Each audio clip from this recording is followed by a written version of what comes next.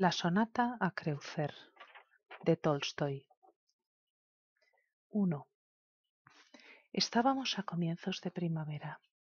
Dos días, con sus interminables noches, llevábamos de viaje en ferrocarril. Cada vez que el tren paraba, subían nuevos viajeros a nuestro coche y bajaban otros al mismo tiempo. A pesar de aquel continuo subir y bajar del coche, siempre quedaban tres personas que, como yo, no se apearían tal vez hasta la estación más lejana. Esas eran una señora ni joven ni vieja, de semblante marchito, con gorra a la cabeza y paleto de hombre, que fumaba continuamente. Su acompañante, un caballero muy locuaz de unos cuarenta años, que llevaba un bonito equipaje perfectamente arreglado, y por último otro caballero de edad regular, bajo de estatura, nervioso, con unos ojos muy abiertos y brillantes, de color indefinido y muy atractivos, ojos que, pasaban con rapidez de un objeto a otro.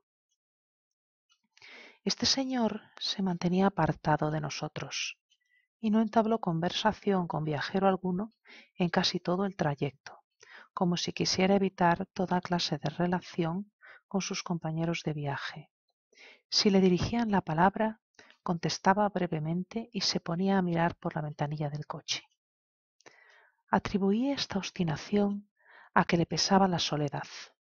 Él parecía adivinar mi pensamiento, y cuando se encontraban nuestros ojos, cosa que sucedía a menudo porque estábamos sentados frente a frente, volvía la cabeza y evitaba entrar en conversación conmigo al igual que con los demás viajeros. Al caer la tarde, aprovechando una parada larga, el caballero del lujoso equipaje, que era un abogado, según me dijeron, abandonó el coche con su señora y se fue a tomar un té. Mientras estuvo fuera entraron nuevos viajeros, y entre ellos un señor bastante viejo, muy alto y completamente afeitado, comerciante al parecer, embutido en un amplio capote de pieles y con la cabeza cubierta por una gorra no menos cumplida. Este comerciante se sentó frente al asiento vacío del abogado y de su compañera. Inmediatamente entró en conversación con un joven que parecía viajante de comercio y que también acababa de subir. Empezó la conversación el viajante diciendo que el sitio de enfrente estaba ocupado, y el viejo respondió que él se quedaba en la estación más próxima. Así empezó la charla. Yo no me encontraba lejos de esos dos viajeros y como el tren estaba parado, podía oír trozos de su plática mientras los demás callaban. Hablaron primero del precio de los productos en el mercado y en general de asuntos de comercio. Nombraron a una persona que ambos conocían y después conversaron sobre la feria de Nizhny Novgorod. El comisionista se jactaba de conocer personas que andaban allí de francachelas y de baneos, pero el viejo no le dejó continuar y empezó a relatar antiguas hazañas amorosas y francachelas en las cuales había tomado parte siendo joven en Funambino. Se mostraba muy ufano de tales recuerdos y creía sin duda que en nada padecía con eso la gravedad que denotaban su semblante y sus modales. Contaba cómo, estando beodo, había hecho en Cunabino tales locuras que no podía sino narrarlas en voz baja. El viajante soltó una carcajada estrepitosa. El viejo se reía también, enseñando dos dientes agudos y amarillentos. Como no me interesaba semejante charla, salí del vagón para estirar un poco las piernas. Al pie de la portezuela me encontré al abogado, que seguido de su señora volvía a ocupar su puesto. ¿A dónde va usted? me dijo. No tendrá tiempo. Ha sonado el primer toque y el segundo no se hará esperar. En efecto, apenas llegué a la cola del tren se oyó la campana. En el momento de entrar, el abogado hablaba en voz alta con su compañera.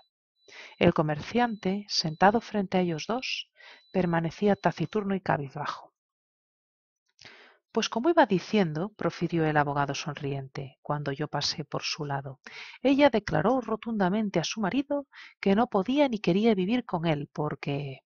y continuó, pero yo no me enteré del resto de la frase, distraído por el paso del revisor y de un nuevo viajero. Una vez restablecido el silencio, volví a oír la voz del abogado. La conversación pasaba de un caso particular a consideraciones generales. Después viene la discordia, los apuros de dinero, las disputas entre ambas partes y el matrimonio se separa. Antiguamente rara vez ocurrían estas cosas, ¿no es cierto? preguntó el abogado a los dos comerciantes, procurando manifiestamente atraerlos a la conversación. En aquel momento empezó a moverse el tren. El viejo se descubrió sin contestar y se santiguó por tres veces, mascullando una oración.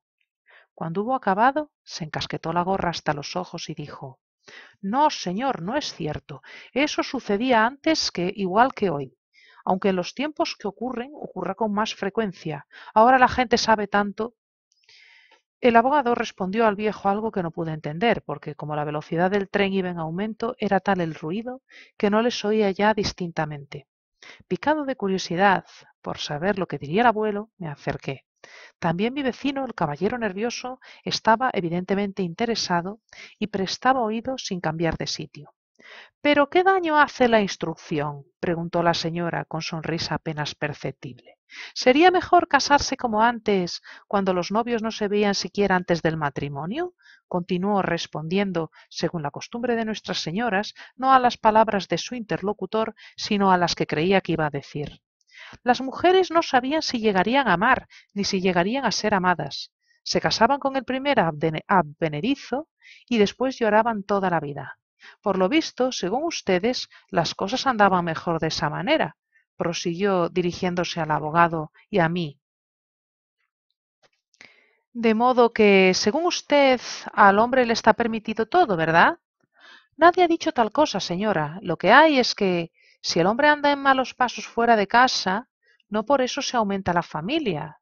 Pero la mujer, la esposa, es un cristal que fácilmente se rompe, continuó el comerciante con la misma severidad. Su tono autoritario subyugaba evidentemente al auditorio. La misma señora se veía derrotada, pero no se daba por vencida. Sí, pero usted admitirá seguramente que la mujer es un ser humano y tiene sentimientos como el marido. ¿Qué debe hacer, pues, si no quiere a su esposo? Diga usted. Si no le quiere, dijo el viejo descomponiéndose y frunciendo el ceño, pues no faltaba más. Se la obliga a lo que quiera, a que lo quiera.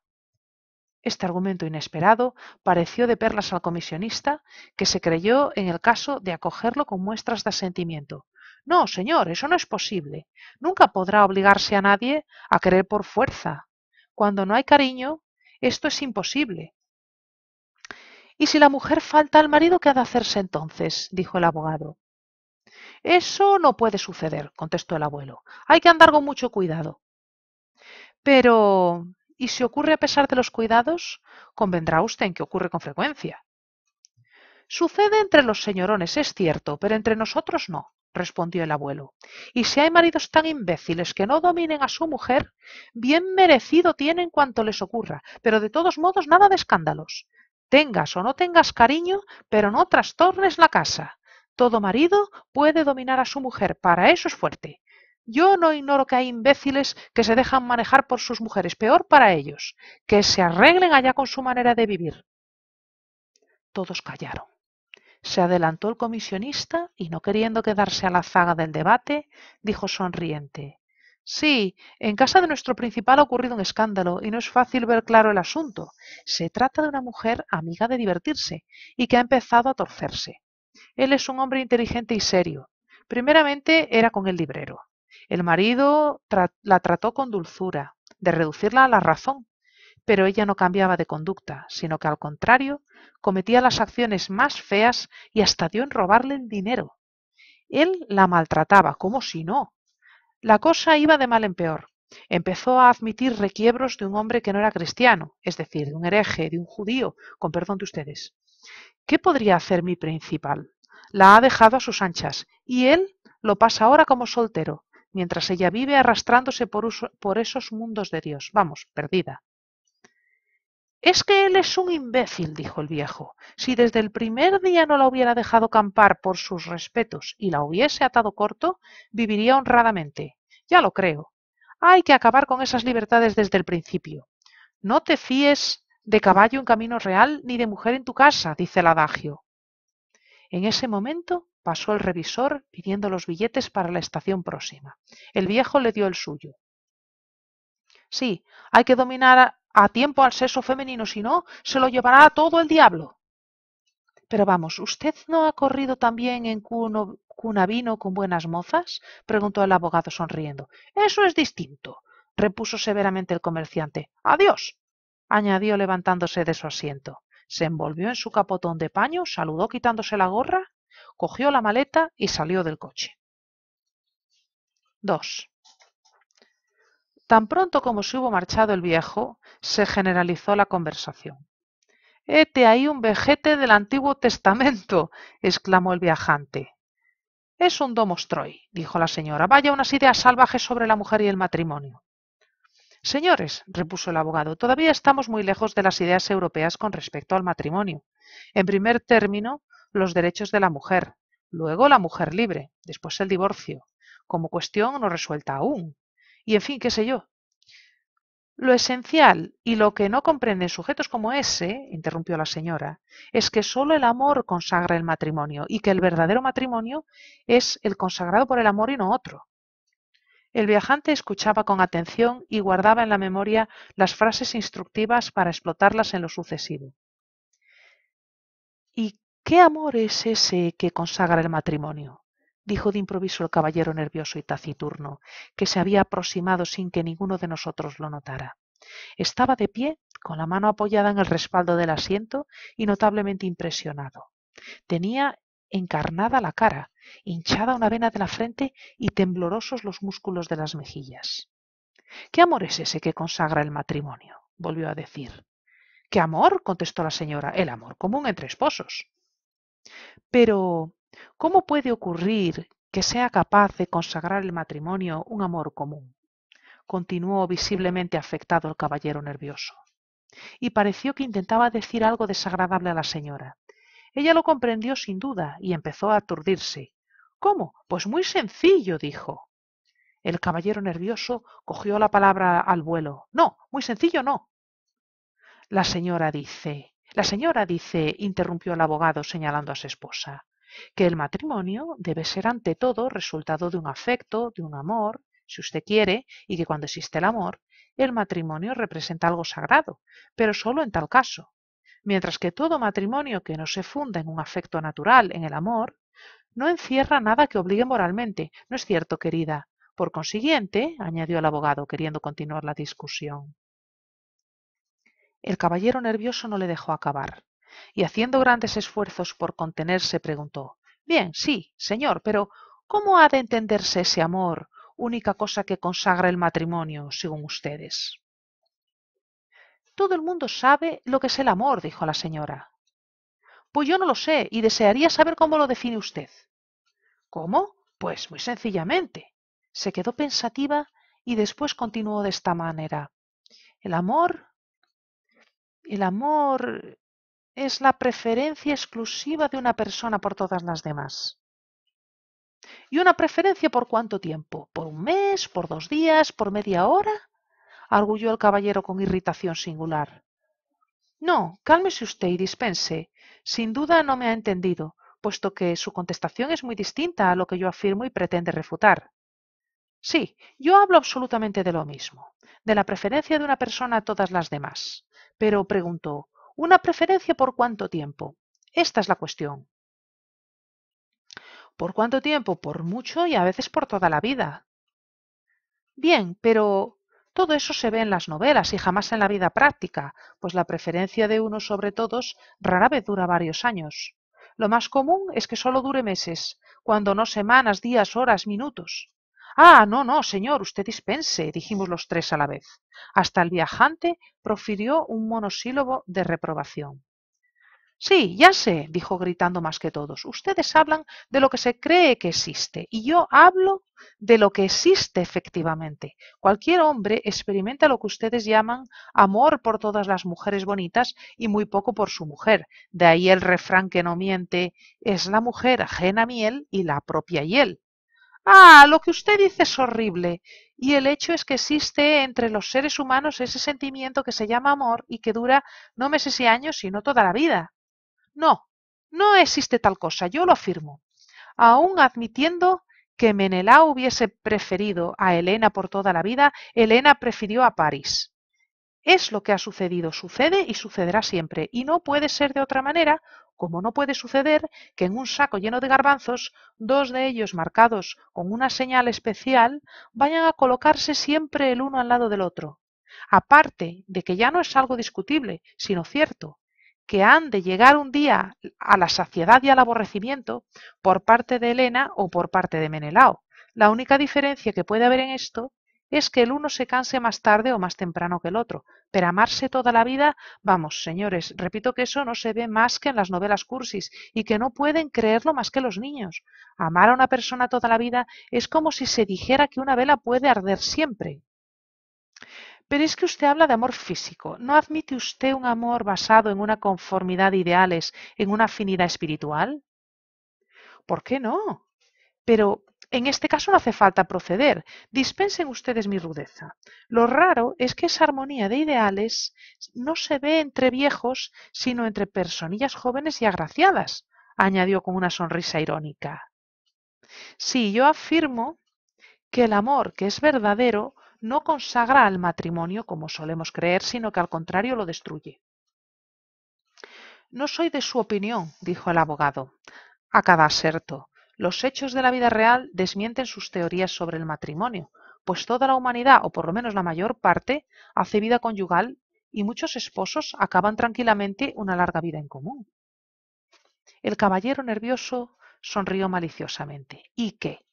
¿Me dice usted que el matrimonio se funda en el amor y cuando yo niego la existencia de otro amor que el que proviene del goce de los sentidos, quiere usted probarme la existencia del amor por el hecho del matrimonio, que es por parte del hombre una violencia y una mentira por parte de la mujer. No, no hay tal, objetó el abogado. Yo solo digo que los matrimonios han existido y existen. Pero, ¿cómo y por qué? Han existido y existen para gentes que han visto y ven en el matrimonio algo sacramental, una obligación contraída ante la divinidad. Para esos existen, y para nosotros no son más que una hipocresía y violencia. Estamos convencidos de ello, y para acabar tan inicua farsa, predicamos el amor libre, pero predicar el amor libre no es en sustancia sino invitar a volver a la promiscuidad de los sesos. Usted dispense, dijo la señora, al pecado, a la buena de Dios de los Raskolniks. Los viejos cimientos no son ya tan sólidos como antes, y hay que edificar sobre otros nuevos, pero no predicar la vida licenciosa. Al hablar así, se acaloró de tal modo que todos callaron mirándole con asombro. Y sin embargo, el estadio de transición es terrible. La gente comprende que no se puede admitir un pecado al azar. Hace falta regularizar de algún modo las relaciones sexuales, pero no existe más base que la antigua en la que ya nadie cree. Hombres y mujeres siguen casándose lo mismo que antes, pero han perdido la fe en el matrimonio, lo cual lleva consigo la mentira y la violencia. La mentira de por sí no es una carga demasiado pesada para la pareja. Ambos cónyuges representan en el mundo una comedia considerándose como monógamos, cosa que no está bien si en realidad son polígamos. Pero, en fin, eso puede aguantarse con paciencia, pero cuando marido y mujer, como sucede a menudo, después de haberse comprometido a pasar juntos toda la vida sin saber por qué, se encuentran con que ya al segundo mes sienten deseos de separarse y sin embargo siguen viviendo juntos, entonces sobreviene una existencia infernal y las víctimas de semejante tortura no tienen otro remedio para sus males que la embriaguez o el suicidio.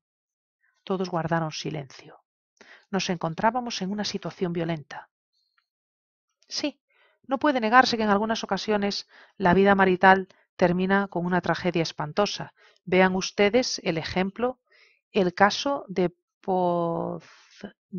Poznichev, dijo el abogado, queriendo desviar la conversación de aquel terreno inconveniente y demasiado excitante. ¿Han leído ustedes cómo mató a su mujer por celos? La señora contestó que no había leído nada sobre ese crimen. El caballero nervioso no despegó los labios, cambió de color, de repente dijo Veo que ha adivinado usted quién soy. No, no he tenido ese gusto. El gusto no es muy grande. Yo soy Poznichev. Nuevo silencio. Poznichev se sonrojó y volvió a palidecer enseguida. Después de todo, nada importa. Ustedes dispensen, no quiero molestarlos. 3. Volví a sentarme en mi sitio. El abogado y la señora cuchicheaban. Yo estaba sentado junto a Poznichev y guardaba silencio. Habría querido hablarle, pero no sabía por dónde empezar. Y así pasó una hora hasta la próxima estación, en la cual se apearon el abogado, la señora y el viajante. Podnichev y yo nos quedamos solos. Lo dicen, pero mienten o se engañan, exclamó Podnichev. ¿De qué habla usted? Pues siempre de lo mismo. Apoyó los codos en las rodillas y se apretó las sienes con las manos. El amor, el matrimonio, la familia. Mentira, mentira y mentira. Luego se levantó y corriendo la cortinilla volvió a echarse sobre el asiento. En esa postura permaneció en silencio durante más de un minuto. ¿No le resulta a usted desagradable estar conmigo sabiendo quién soy? Ah, de ninguna manera. ¿Tiene usted sueño? En absoluto. Entonces, ¿quiere usted que le cuente mi vida? En este preciso momento entró el revisor de billetes. Mi interlocutor le dirigió una mirada llena de enfado y no comenzó hasta que estuvo fuera. Después siguió su relato sin detenerse. Mientras hablaba, su rostro se alteró varias veces de una manera tan completa que en cada una de sus transformaciones no ofrecía nada de semejante con su expresión anterior. Los ojos, la boca, el bigote, hasta la barba, todo era nuevo, y siempre una fisionomía bella y conmovedora. Estos cambios tenían lugar en la penumbra que nos rodeaba de golpe. Durante cinco minutos se veía una cara, pero enseguida, sin saber cómo, volvía a cambiar y aparecía enteramente desconocida. 4. Sea. Voy pues a contarle todos mis infortunios y la historia espantosa de mi vida. Sí, espantosa, y la historia misma es más espantosa que su sangriento desenlace. Se pasó la mano por los ojos y empezó después de una pausa. Para entenderlo debidamente hay que contarlo todo desde el principio. Hay que explicar cómo y por qué me casé, y hay que explicar lo que era yo antes de mi matrimonio. Empezaré diciéndole cuál es mi condición. Hijo de un rico hidalgo de la estepa, antiguo mariscal de la nobleza. Fui alumno de la universidad, licenciado en Derecho. Me casé a los 30 años, pero antes de hablarle de mi matrimonio, quiero contarle la vida que llevaba de soltero y las falsas ideas que en aquel tiempo abrigaba sobre el matrimonio. Yo llevaba la misma existencia que otros tantos que presumen de distinción, es decir, una existencia relajada y llena de vicios, a pesar de lo cual estaba muy convencido de ser un hombre de una moralidad intachable. La idea que tenía de mi moralidad dimanaba de que no se conocían en mi familia esas disposiciones especiales tan comunes en la esfera de nuestros nobles terratenientes, pues todos mis deudos permanecían fieles al juramento de fidelidad que habían hecho ante el altar. Desde esa suerte me había forjado desde la infancia el sueño de una vida conyugal elevada y poética. Mi esposa sería un dechado de todas las virtudes, nuestro mutuo cariño inquebrantable, la pureza de nuestra vida conyugal inmaculada. Así pensaba yo, muy engreído con la nobleza de mis proyectos.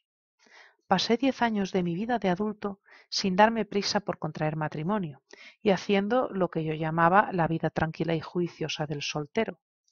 No era un seductor, no tenía apetitos contra natura, ni convertía la disipación en un objeto principal de mi vida, sino que participaba del placer sin ofender las conveniencias sociales, y me creía ingenuamente un ser moral en extremo.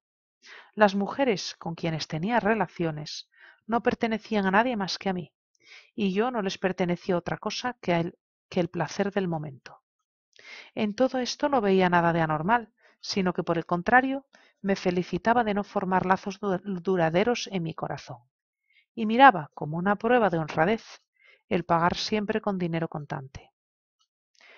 Huía de las mujeres que podían estorbar mi porvenir, enamorándose o dándome un hijo.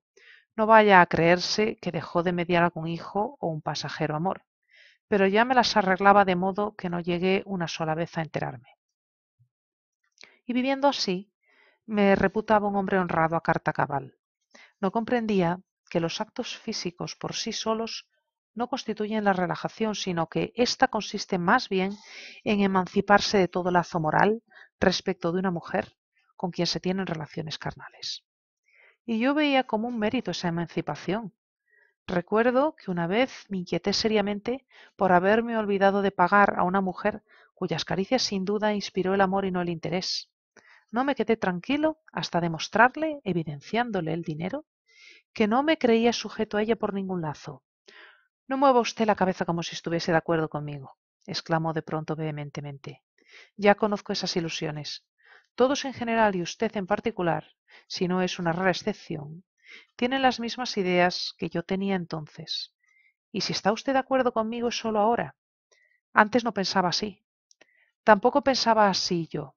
Y si hubiera tenido quien me contara lo que yo ahora le cuento, no me habría sucedido lo que me ha sucedido. Pero en fin, la cosa no es para tanto, usted dispense. En verdad que es espantoso, espantoso ese abismo de errores y de disipación en que vivimos frente al verdadero problema de los derechos de la mujer. ¿Qué es lo que tiende por verdadero problema de los derechos de la mujer? El problema de lo que es ese ser especial, organizado de distinto modo que el hombre, y de cómo ese ser y el hombre deben mirar a la mujer. Pero continuemos la historia.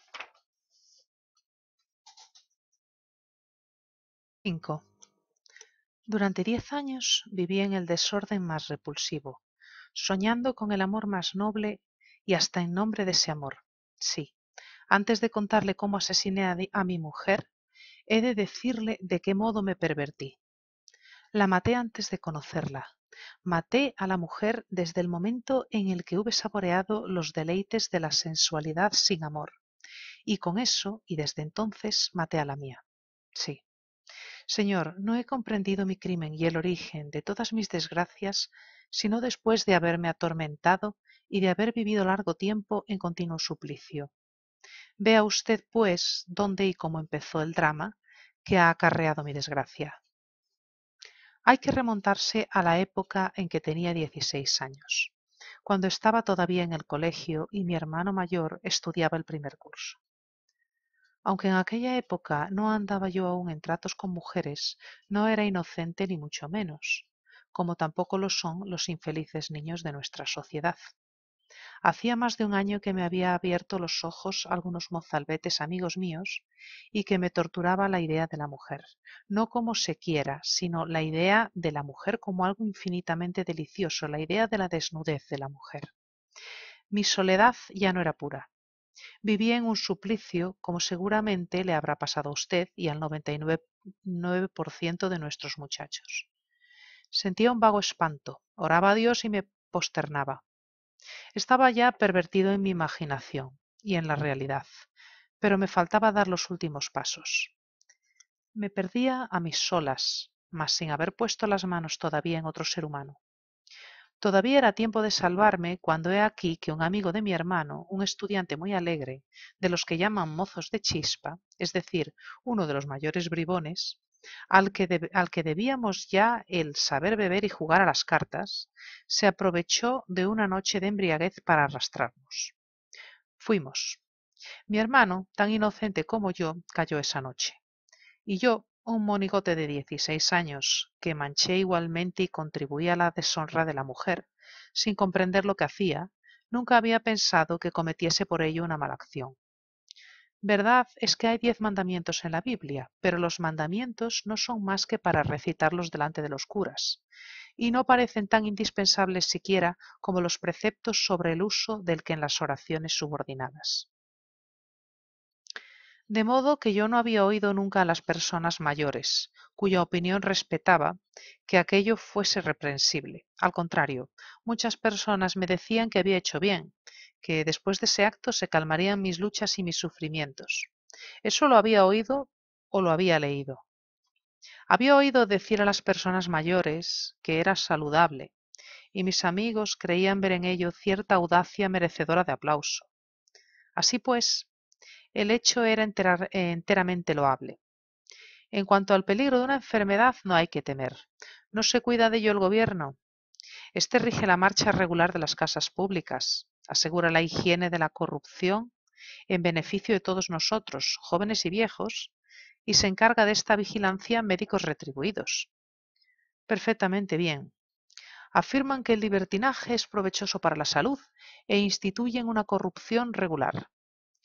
Sé de algunas madres que vigilan para que la salud de sus hijos no se altere por lo que a esto se refiere, y la ciencia misma los envía a los lupanares.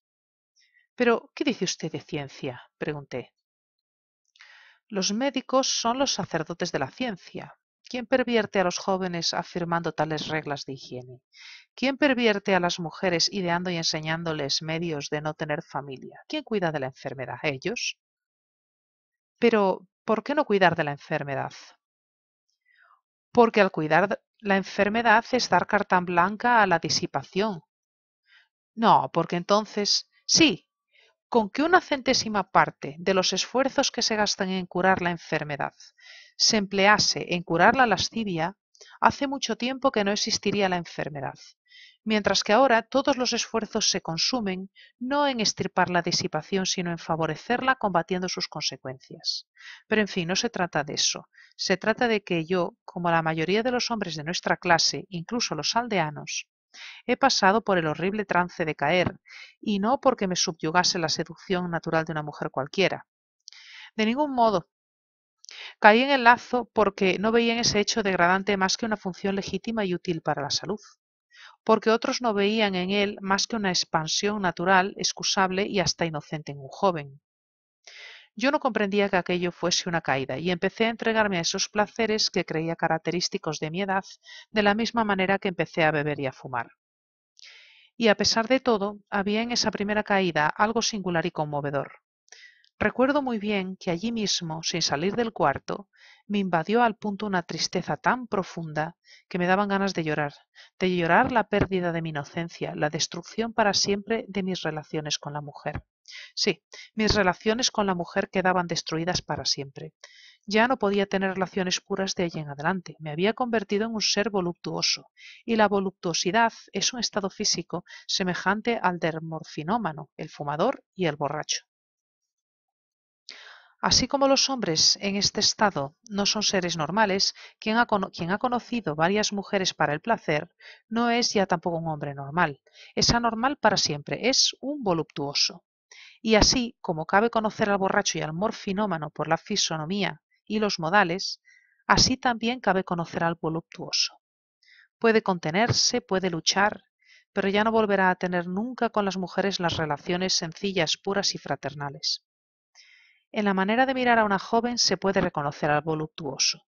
Y yo me volví voluptuoso, y lo he sido siempre desde entonces. Lo confieso con entera franqueza. 6. Sí, esto fue así, y siguió siéndolo durante mucho tiempo. Dios mío, cuando acude a mi memoria el recuerdo de mis malas acciones, me hace estremecer de espanto pensar en las pesadas bromas que me hacían mis compañeros burlándose de mi inocencia. Y cuando veo la juventud que llaman dorada en los militares, en los parisienses, cuando pienso en el aire digno que tenemos todos nosotros, vividores y calaveras de treinta años, con la conciencia manchada por el recuerdo de mil terribles crímenes, al penetrar en un salón de baile, en una reunión, recién afeitados, adornados con la blancura resplandeciente de nuestras camisas, de frac, de uniforme, qué ideal de pureza, un verdadero sueño infantil. Reflexionemos un momento acerca de lo que esto es y de lo que debería ser. Cuando uno de estos libertinos se acerca a mi hermana o a mi hija, estando enterado, como lo estoy, de su vida, debería yo llamarle y decirle, Amigo mío, sé que eres un libertino y en qué compañías pasas las noches, y debo decirte que tu puesto no está aquí al lado de las jóvenes inocentes. Eso es lo que debería decírsele. ¿Y qué es lo que por el contrario sucede? Que cuando se presenta uno de estos tipos y baila con mi hermano o con mi hija, pasándole el brazo por la cintura, nos sonreímos muy satisfechos, sobre todo si se trata de un hombre rico y bien emparentado. ¡Qué asco! Pero muy pronto ha de llegar un día en que todas estas cobardías y estos embustes se desenmascaren y se borren. De esta manera viví hasta los treinta años, alimentando como una obsesión la idea del matrimonio y la familia. Observé a todas las jóvenes casaderas de la comarca y pese a ser un vicioso y un libertino, me atrevía a buscar aquella cuya pureza podría convenirme. Al cabo, fijé mis miradas en una de las dos hijas de un hacendado de Penza, hombre que había sido rico en otros tiempos y luego se había arruinado. A decir verdad me atraparon y caí en una ratonera. La madre, pues el padre había muerto, me preparó una porción de emboscadas y en una de ellas caí. Fue en un paseo en barca. Una noche, al regresar de uno de esos paseos con la hermosa claridad de la luna iluminándonos y a punto de llegar al término del viaje, estaba sentado a su lado y no podía apartar la, mirada de su esbelto talle, de las formas que hacía resaltar un jersey muy ceñido y de los sedosos bucles de sus cabellos rubios, y lo comprendí de pronto. Ella era la elegida. Se me figuró que mis pensamientos y mis sentimientos elevados encontraban un eco en ella cuando en realidad no estaba seducido más que por su talla y su cabello, y aparte de eso, la intimidad de todo el día había hecho germinar en mí el deseo de otra intimidad aún mayor. Desbordándose el alma, impresiones exquisitas, y convencido de que aquella joven era la perfección personificada, la creí digna de ser inmediatamente mi esposa. Al día siguiente hice mi petición matrimonial. Este es un mal que no tiene remedio nos hallamos sumidos en un abismo tal de embustes que es necesario, para que nos enteremos de la verdad, que nos caiga una teja sobre la cabeza como me sucedió a mí. Qué situación más embrollada. Entre mil futuros maridos, lo mismo entre los pertenecientes al pueblo que en nuestra clase, costaría mucho trabajo hallar a uno solo que no haya estado en contacto con mujeres lo menos una docena de veces. Según parece, abundan hoy los jóvenes castos que comprenden y saben que este asunto no es broma, sino algo sumamente serio. Que Dios los proteja. En mi época no se encontraban más que uno por mil. Todos lo saben y sin embargo obran como si lo ignorasen. En las novelas se describen, hasta en sus menores detalles, los sentimientos de los héroes, las fuentes, los matorrales y las flores. Al describir sus amores, no dicen ni una palabra acerca de su vida anterior ni de sus visitas a las casas públicas, ni de las persecuciones de que se han hecho objeto a las doncellas, a las cocineras y a la mujer ajena. Si se escribieran novelas como estas, no se las dejarían leer a los jóvenes, porque los hombres ocultan sus pensamientos no solo a ellos mismos, sino también a las mujeres. Al oírlos se creería a que no existe esa vida corrompida de las grandes ciudades y hasta de las aldeas populosas, ese libertinaje en el cual todos se encenegan con voluptuosidad. Y lo dicen con una apariencia de convicción tal que se persuaden a sí mismos y las pobres muchachas lo creen también. Ese fue el caso de mi desventurada mujer. Me acuerdo de que un día, cuando todavía no éramos más que novios, le enseñé mis memorias poniéndola así al corriente de mi vida pasada, y especialmente de las últimas relaciones que había tenido, y creí que era mi deber darle a conocer. Cuando comprendió lo que significaba mi revelación, su terror y su desesperación fueron tan grandes que creí llegado el momento en que renunciaba a casarse conmigo. Qué dicha más grande hubiera sido para los dos. Poznichev se calló y luego añadió Vale más, no obstante, que haya sido así, pues obtuve lo que tenía merecido. Pero no nos detengamos más en esto. Lo que quería decir es que las pobres jóvenes son las engañadas en este caso. Y las madres lo saben porque los maridos no ignoran lo que ocurre. Fingen una creencia grande en la pureza de los hombres y obran como si esta fuese realidad. Conocen perfectamente los celos a los que pueden apelar para atraer a los hombres hacia ellas y hacia sus hijas. En cambio, nosotros los hombres lo ignoramos por poca voluntad de aprender. Las mujeres saben que el amor más puro, el más poético, como se dice, no depende esencialmente de las facultades morales, sino de las aproximaciones carnales, de la manera de peinarse y del color o del corte de los trajes. Preguntadle a una coqueta experimentada que se haya propuesto conquistar a un hombre qué es lo que prefiere, que ante ese hombre prueben que mintió, que fue cruel o disoluta, o bien que la presenten ante él en un momento en el que se haya ataviada con un vestido de mal gusto o mal cortado, y todas preferirán la primera alternativa.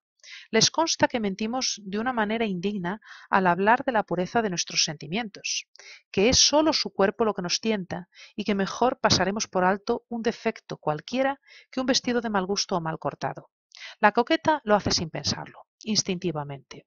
Por lo mismo que se pone esos odiosos vestidos ceñidos, toma ciertas posturas y usa esos tocados que le permiten llevar al descubierto hombros, brazos y pecho.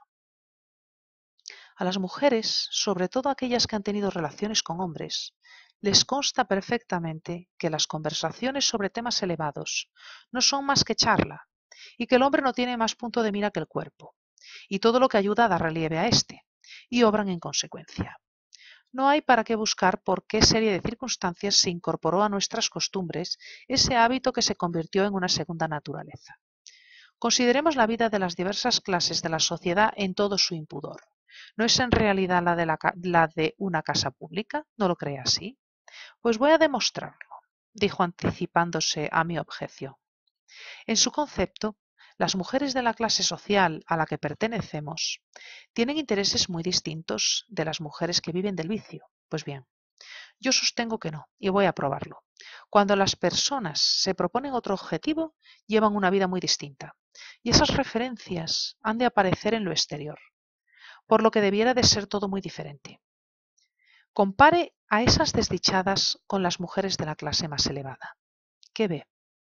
Los mismos tocados, los mismos modales, iguales perfumes, idénticos escotes, brazos al aire y pechos al descubierto, igual afición a la pedrería y a las alhajas, hasta a los placeres, es decir, bailes, música y cantos son iguales. Para unas y para otras y para otros, los medios son buenos con tal de atraer. Hablando con entera franqueza, la mujer que peca momentáneamente por vil interés es despreciada por todos la que peca toda la vida obtiene el respeto general. Fueron esos cuerpos ceñidos, esos cabellos rizados, esos modales seductores los que me atrajeron. 7. No era difícil, en verdad, hacerme caer en un lazo, porque con mi educación me sentía atraído hacia el amor, como el viajero del desierto se siente atraído por el espejismo. ¿No es una alimentación abundante un, un excitante para los ociosos? Los hombres de nuestra clase se alimentan como caballos. Si se cierra la válvula de seguridad, es decir, si se condena a un joven lanzado a la vida de placer a seguir otra más tranquila, se verá cómo aparecen enseguida una excitación nerviosa y una inquietud tan terribles como extraordinarias, que miradas a través del prisma de nuestra vida artificial se convertirán en una ilusión que se tomará por amor. El amor y el matrimonio dependen en gran parte del alimento, ¿Os asombra esto? Pues más extraño aún es que esto no haya sido reconocido universalmente. En mi tierra hicieron este año algunos trabajos para un ferrocarril. Ya sabe qué es lo que beben y comen generalmente nuestros aldeanos. Sidra hecha con cebada, pan y cebollas, y eso les basta para poder trabajar bien el campo. En las obras del, del ferrocarril les daban gachas hechas con harina y grasa, y además una libra de carne. Pero esta alimentación más sólida se compensaba con 16 horas de trabajo rudo, manejando tierras y materiales o empujando pesadas vagonetas y carretillas, de manera que el trabajo y alimento se compensan. ¿En qué gastamos las dos libras de carne, caza, toda clase de manjares excitantes y las bebidas que consumimos a diario? Pues en los excesos sexuales. Si entonces se abre la válvula de seguridad, todo va bien. Pero si se cierra, como hice yo más de una vez, resulta una excitación nerviosa que, espoliada por la lectura de novelas, periódicos, versos y por la música, que hace, la buena que hace que la buena alimentación se convierta en el más puro amor. De esta manera yo me enamoré. Yo también e hice lo que todo el mundo. Y en mis amores no faltó nada. Delicias, enternecimientos, horas de arrobamiento. En el fondo, ese amor era la obra de la madre de mi novia y del modisto de su, por una parte, y por la otra, de la buena mesa y la falta de actividad. Sin los paseos en barca, sin aquel talle esbelto, sin aquel cuerpo en que la tela parecía pegada a la carne, sin los paseos juntos, no me habría enamorado, ni habría caído en la emboscada. 8. Fíjese también en este embuste tan generalizado, en la manera como suelen hacerse los casamientos. ¿Qué es lo más natural? La joven es núbil, hay que casarla, nada más sencillo. Y a menos que sea un espantajo, encontrará quien suspire por ella. Pues bien, no hay nada de esto. Y ahí es donde empieza una nueva mentira. Antaño, cuando la joven llegaba a la edad conveniente, sus padres la casaban, dejando a un lado toda idea sentimental y sin que por eso la quisiesen menos. Esto sucedía y sucede aún en el mundo entero. Entre los chinos, indios, musulmanes, en nuestro pueblo y, en resumen, entre las 99 partes de la humanidad. Una centésima parte apenas nosotros, gentes corrompidas, creíamos que eso no estaba bien y buscábamos otra cosa. ¿Y qué fue lo que hallamos? A las jóvenes las exponen como el género en un almacén donde los hombres tienen la entrada libre para elegir a su gusto. Las muchachas esperan allí, pensando para su fuero interno y sin atreverse a decirlo en voz alta. Tómame, tómame a mí, querido mío, a mí y no a otra. Mira mis hombros y todo lo demás. Los hombres pasamos y volvemos a pasar por delante de ellas, las miramos y remiramos, hablando de vez en cuando de los derechos de la mujer, de la libertad que deben tener, basada a lo que se pretende en su instrucción. Pero, ¿se puede hacer de otra manera? le pregunté interrumpiéndole. ¿Quiere que sean ellas las encargadas de hacer la petición matrimonial? ¿Es que acaso lo sé yo? Pero sí que es cuestión de sí que es cuestión de igualdad y de que ésta se haga realidad. Se ha hablado mucho y mal de los casamientos y de los intermediarios y nuestro sistema es cien veces peor. En aquel caso, los dos están en iguales condiciones y nuestro sistema es mucho peor. En aquel, los derechos y las esperanzas son iguales. En este, la mujer es una esclava a la que ofrecen porque no puede ofrecerse por sí misma. Empieza entonces otra mentira convencional que se llama presentarse en sociedad, divertirse, y que no es ni más ni menos que la caza del marido. Decirles la verdad desnuda a una madre o a una hija, decirles que no tienen más que una preocupación, pescar a un marido, y les haréis una grave ofensa. Y no obstante, ese es su único objetivo, no pueden tener otro. Lo más tremendo en todo esto es que se ve a muchas jóvenes ingenuas e inocentes que obran de este modo sin saber lo que hacen. Si al menos se hiciera con entera franqueza, pero no son más que mentiras e hipocresía. Ah, qué cosa más interesante es este libro nuevo del origen de las especies, exclama la mamá. Cuántos atractivos tiene la literatura. La pintura le gusta mucho a María. ¿Piensa ir hoy a la exposición? ¿Pasea mucho en coche? La verdad es que admira lo mucho, admira lo mucho que entusiasma a mi Luisa la música. ¿Cómo es que no profesa esas ideas? Ah, los paseos por el agua. Y al decir esto, no las anima a todas más que a un pensamiento. Tómame a mí, elígeme a mí, Luisa. No, a mí. Prueba al menos. Oh, cuánta hipocresía, cuánto embuste. 9. ¿Conoce la supremacía de la mujer? me preguntó de pronto. ¿Esa supremacía o dominación que tantos sufrimientos causa a todos? En lo que acabo de decir está la indicada causa. ¿Cómo? La supremacía de la mujer, repliqué, no lo comprendo. Cuando se lamentan por el contrario de que no gozan de ningún derecho y que son las más víctimas. Esa, precisamente, es la idea que quería expresar, dijo con admiración. Eso es justamente lo que hace que se sostengan dos opiniones en apariencia contradictorias por una parte una tremenda humillación y de la otra un poder soberano. Pasa con la mujer lo mismo que con los judíos, que se vengan con el poder que les da su dinero del envilecimiento al que les condenamos. ¿Nos permitís que nos permitís que nos dediquemos al comercio? De acuerdo. Pues por medio de los negocios nos convertiremos en vuestros amos, dicen ellos. ¿No queréis ver en nosotras más que un objeto sensual? Sea, pues por los sentidos nos apoderaremos de vosotros, dicen a su vez las mujeres. No es, pues, la privación del derecho de sufragio ni el veto a ejercer determinadas magistraturas lo que constituye la ausencia de derechos de la mujer, aparte de que preguntó, ¿esas ocupaciones son realmente tales derechos? Lo que hay es una prohibición de acercarse al hombre o alejarse de él, y de escogerlo a su antojo en vez de ser escogida. Esto le llama la atención, ¿no es así? Entonces, privad al hombre de esos derechos, puesto que goza de ellos, ya que se los negáis a su mujer para igualar todas las probabilidades. La mujer dominada por la sensualidad se hace dueña absoluta por medio de los sentidos, de tal manera que siendo él quien en apariencia escoge, es en realidad ella la que elige. Y cuando posee a fondo el arte de seducir, abusa y adquiere un dominio extraordinario y un imperio terrible sobre la humanidad. Pero, ¿dónde ve ese predominio tan extraordinario? ¿Dónde? En todas partes. Vaya a esos grandes almacenes de sederías y tejidos que hay en las poblaciones de alguna importancia y verá en ellos amontonados millones de francos y el producto de un trabajo que, por lo gigantesco, es casi incalculable. Dígame, ¿hay en la décima parte de esos almacenes alguna cosa que sea uso del hombre? Todo el lujo es para la mujer que lo busca, impulsándola siempre hacia adelante. ¿Y las fábricas? En su mayor parte no hacen más que trabajar para la mujer, y millones de hombres, generaciones enteras de obreros, sucumben en esos trabajos hechos en condiciones semejantes a las de las penitenciarías para que ella se pueda engalanar.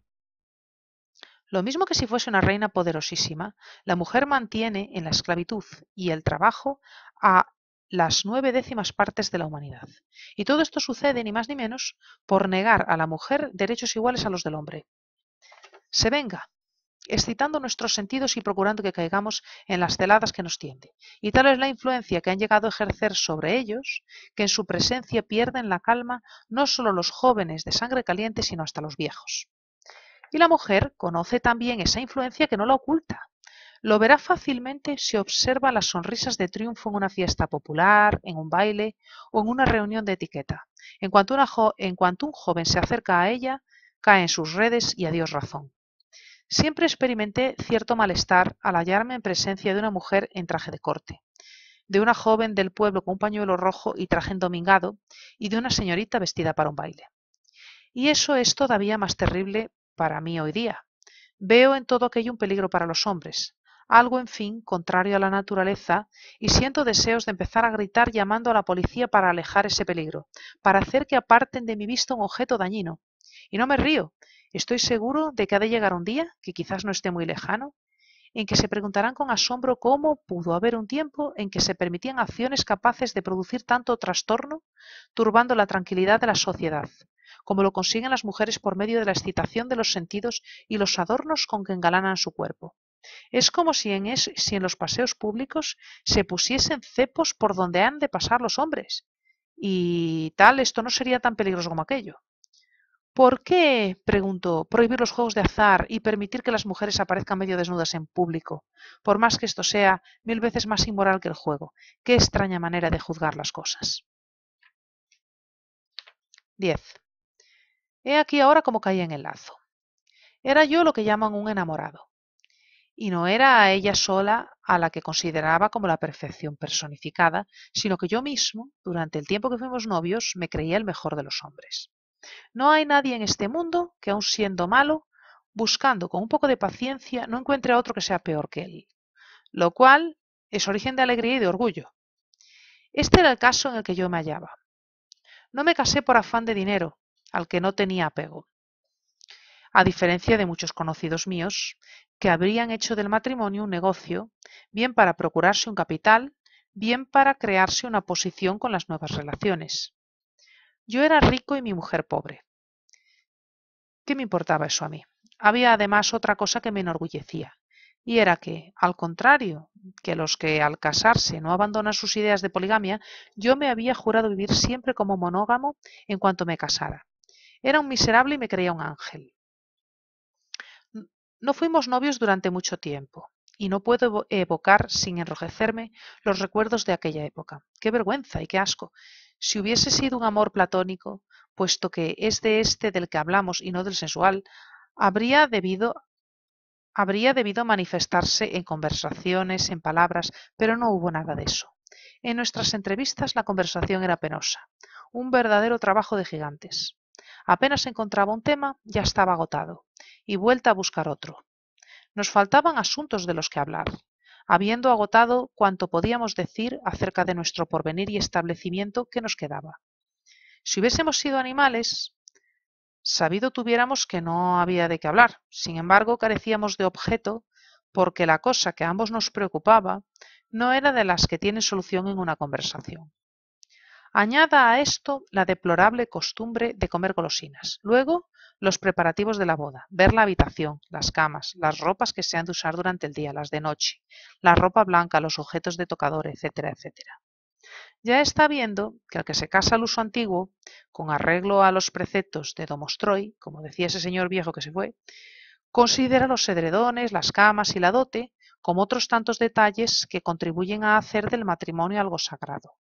Pero para nosotros, que en la proporción de uno por diez no creemos, no, en ese algo sagrado, y que se crea o no importa poco, sino en las promesas que hacemos nosotros, de los que apenas un 1% no habrá ya tenido que ver con mujeres y de los que apenas Uno de cada cincuenta no estará dispuesto a ser inmediatamente infiel a su mujer. Para nosotros, repito, que no vamos para la iglesia más que a cumplir con un requisito exigido antes de poseer a una determinada mujer, todos esos detalles no tienen más que un significado bien preciso. Es un contrato innoble. Se vende a una virgen a un libertino y esa venta se verifica con la apariencia de las cosas más puras, adornándola con poéticos detalles. 11. Me casé como nos casamos todos. Si los jóvenes que ansían pasar la luna de miel supiesen las desilusiones que les esperan, porque no hay más que desilusiones en todas partes, y todos, en verdad ignoro por qué, se creen obligados a ocultarlo. Paseaba un día por una feria de París y entré en un barracón en el que enseñaban una foca y una mujer con barbas. La mujer era un hombre con traje descotado, y la foca ni más ni menos que un perro, cubierto, es verdad, con una piel de foca, y que nadaba en una gran tina. El espectáculo tenía más bien poco atractivo. Cuando salí del barracón, el dueño me señaló al público diciendo Preguntadle a este señor si vale la pena pasar. Adelante, señoras y caballeros, no cuesta más que un franco la entrada. Me costaba gran trabajo, no podría decir por qué, contradecir a aquel hombre, y contó con mi asentimiento. Lo mismo les sucede a los que por propia experiencia conocen el hastío de la luna de miel, que no quieren destruir las ilusiones de los demás. Yo por mi parte no desvanecí los sueños de nadie, pero no veo motivo para que ahora me calle. En la luna de miel no hay nada agradable, sino todo lo contrario. Aquello es un continuo malestar, una vergüenza, un mal humor sombrío y predomina sobre todo esto, un aburrimiento, un tedio espantoso. No acierto a comparar esa situación más que con la del muchacho que empieza a fumar, siente náuseas, se traga el humo y sin embargo dice que experimenta un gran, un gran placer. Si el trabajo produce goces es para más adelante, y lo mismo sucede con el matrimonio. Antes de gozar, los esposos deben habituarse al vicio. ¿Cómo? ¿Al vicio? exclamé. Está hablando de algo que es natural, instintivo. ¿Algo natural, instintivo? No hay nada de eso. He llegado a convencerme de lo contrario, permitidme que os lo diga. Y yo, hombre corrompido, libertino, entiendo que es contra naturaleza, y cuanto más arraigada no estaría esa convicción en mi ánimo si no estuviese tan pervertido. Es un acto contra la naturaleza para toda joven pura igual que para un niño. Una hermana mía se casó siendo muy joven con un hombre que tenía doble edad que ella y que hasta entonces había llevado la vida propia de los libertinos.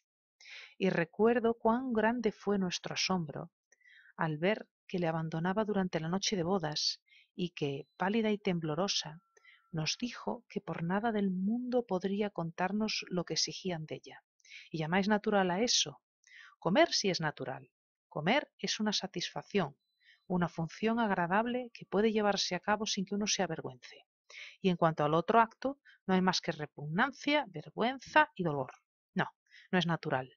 Y adquirí la convicción de que una joven lo teme siempre. Una muchacha joven y pura desea hijos, hijos sí, pero un hombre no.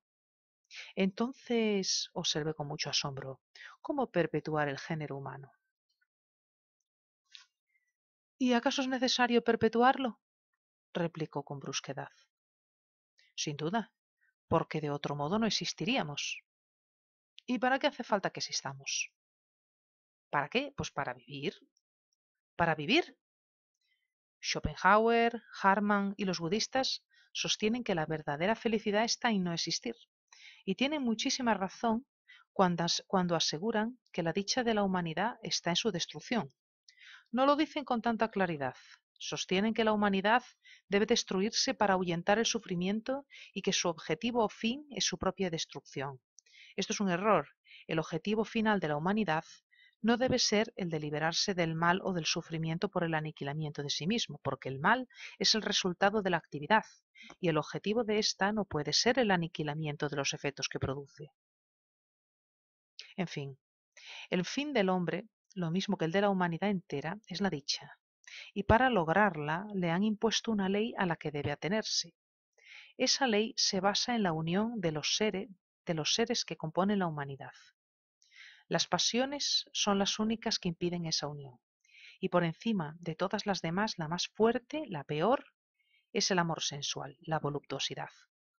Cuando el hombre haya conseguido dominar sus pasiones y con ella la que más le domina, el amor sensual, existirá ese amor, y la humanidad, una vez cumplido su objetivo, no tendrá ya razón de existir. ¿Y hasta que llegue ese momento? La humanidad tiene una válvula de seguridad. El amor de los sentidos no es más que la señal del incumplimiento de la ley. Mientras ese amor exista, habrá una nueva generación para intentar realizarla. Si la primera no basta, vendrán otras, hasta que llegue al cumplimiento de esa ley. Cuando esto suceda, la humanidad dejará de ser, porque nos sería imposible explicarnos la vida si el género humano fuera perfecto. 12. ¿Qué teoría más extraña? exclamé. ¿Por qué es extraña? Todas las religiones profetizan que la humanidad ha de tener un fin, y con arreglo a las conclusiones de la ciencia moderna, ese fin también es inevitable. ¿Qué tiene pues de particular que la filosofía moral presente esas mismas conclusiones? Aquel que pueda comprender lo que lo comprenda, dijo Cristo, y veo bien claro su pensamiento. Para que el hombre tenga relaciones sexuales morales, es preciso que tenga por objeto la castidad completa. El hombre sucumbe en esa lucha, y de ahí proviene el matrimonio moral. Pero si el hombre, y este precisamente es el caso de la sociedad actual, se entrega antes de que llegue ese caso al amor sexual, el matrimonio no puede ser, a pesar de sus apariencias de moralidad, más que un pretexto para la voluptuosidad y la vida, una vida completamente desprovista de sentido moral. Fue en esta última existencia en la que perecimos los dos, mi mujer y yo, en esa pretendida existencia moral a la que se llama vida de familia. Comprenderá fácilmente a qué extremos pueden llegar las ideas cuando se oye tratar de miserable y ridículo lo que tiene de mejor el hombre, es decir, su libertad y su celibato. La situación ideal para la mujer, cuando ese estado de pureza y de virginidad asusta a la sociedad que se burla de él. ¿Cuántas mujeres sacrifican su doncellez a ese moloch que es la opinión pública y se cansan con el primer y se casan con el primer advenedizo para no ser doncellas, es decir, seres superiores? Se inmolan para no permanecer en esa condición de superioridad. Hasta entonces no había comprendido que las palabras del Evangelio, aquel que mira a una mujer para desearla, ha cometido ya adulterio con ella en su corazón, se pueden aplicar lo mismo a la mujer ajena que a la propia. No las había comprendido, y me parecían sublimes todos los actos que ejecuté durante mi luna de miel, persuadido de que la satisfacción del deseo sensual con mi propia mujer era lo más natural y digno del mundo. También como yo, usted sabe que el viaje de boda, la soledad en que se deja a los recién casados, con permiso de sus padres, no son ni más ni menos que una excitación al libertinaje. No veía yo en esto nada que fuese malo o vergonzoso, y mi luna de miel me pareció una promesa de felicidad, pero esa esperanza pronto se desvaneció. Creo, empero, que hice todos los esfuerzos imaginables para lograrla, esfuerzos que fueron vanos, pues cuanto más andaba en pos de la dicha, más huía ésta de mí. Durante todo este tiempo fui presa del malestar, la vergüenza y el tedio y poco más tarde se presentaron la tristeza y los sufrimientos. Si no recuerdo mal, fue al tercer o cuarto día cuando encontré triste a mi mujer, y besándola traté de inquirir lo que le sucedía. Creía que no podía querer más que besos. Con un gesto hizo que me apartase y se echó a llorar. ¿Por qué? No lo sabía. Se encontraba mal, fatigada. La laxitud de sus nervios le reveló indudablemente la verdadera naturaleza de nuestras relaciones pero no sabía cómo expresar sus sentimientos. La apremié haciéndole muchas preguntas y al cabo me respondió que le inquietaba el recuerdo de su madre. No la creí y empecé a querer consolarla, sin hablarle de sus padres, no comprendiendo que estos no eran más que un pretexto y que tenía el corazón oprimido. No me hizo caso y le eché en cara sus caprichos, burlándome de su tristeza. Dejó entonces de llorar y me contestó furiosa, llamándome egoísta y cruel. La miré a la cara y vi que en la suya todo revelaba furor, cólera contra mí. ¿A qué venía aquella actitud inexplicable? ¿Era posible? No era la misma mujer. Traté de calmarla y me estrellé contra una frialdad y una amargura tales que en un momento perdí mi sangre fría y nuestra conversación degeneró en disputa. La impresión que me produjo este primer disentimiento fue terrible, ya que era la revelación del abismo que nos separaba. La satisfacción de los deseos de los sentidos mató nuestras ilusiones, y en realidad nos encontrábamos cara a cara como dos egoístas que tratan de obtener todo lo posible el uno del otro, como dos personas que no ven la una en la otra más que un instrumento de placer. Ese disentimiento fue nuestra constante, que se manifestó en cuanto quedaron saciados nuestros sentidos. Si bien no comprendí enseguida que esa frialdad y esa hostilidad fuese en adelante nuestro estado normal, porque no tardaron en adormecerse al despertarse nuestra voluptuosidad. Creí que se trataba de una disputilla que una vez aplacada no se reproduciría, pero durante la luna de miel se presentó otro nuevo período de saciedad, y con éste, como no nos necesitábamos el uno al otro, una segunda pelea que me asombró mucho más que la primera. ¿No habría sido esta producto de la casualidad o de un malentendido? ¿O era inevitable, fatal? Me asombré tanto, tanto más, cuanto que la causa fue muy insignificante. Tuvo origen en una cuestión de dinero. No era avaro, y mucho menos tratándose de mi mujer. Recuerdo únicamente que tomó muy a mal uno de mis constantes observaciones, y que imagino, imaginó estaba hecha con el propósito deliberado de dominarla por el dinero, una cosa que me hacía superior a ella, lo cual era estúpido y ridículo dado su carácter y el mío. Me incomodé y le eché en cara su falta de tacto. Como respuesta recibí algunos reproches y empezó otra vez la disputa. En su rostro, lo mismo que en su mirada y en su lenguaje, se reveló otra vez aquel odio que tanto me había sorprendido. Antes de que me ocurriese esto, había tenido discusiones con mis amigos, con mis hermanos y hasta con mi padre, y jamás observé en ellos esa expresión rencorosa que tanto me sorprendió. Pronto, sin embargo, ese rencor se ocultó tras los caprichos de nuestra voluptuosidad y me consolé diciéndome que eran malentendidos que no tendrían consecuencias irreparables. Sobrevinieron una tercera, una cuarta disputa, y hube de reconocer que no se debían a malentendidos, sino que eran producto de una situación fatal, permanente. Me fui acostumbrando a esas escenas, y me pregunté por qué había de llevar yo, que me había casado tan esperanzado, una vida tan deplorable con mi mujer. En aquellos momentos ignoraba que lo mismo sucede en todos los matrimonios, que todos pensaban lo mismo que yo, que esa desdicha era general y que todos se la ocultaban a los demás, del mismo modo que se la disimulaban a sí mismos. Después de haber empezado así, la situación fue empeorando de día en día, agravándose cada vez más. Durante las primeras semanas ya comprendía en mi fuero interno cuál era la desgracia que sobre mí pesaba, y que no era en verdad lo que yo esperaba. Comprendí entonces que el matrimonio, en vez de ser una dicha, es una carga muy pesada, pero obrando como todos me lo oculté a mí mismo y a los demás. Y sin el desenlace que sobrevino, seguiría ocultándomelo todavía.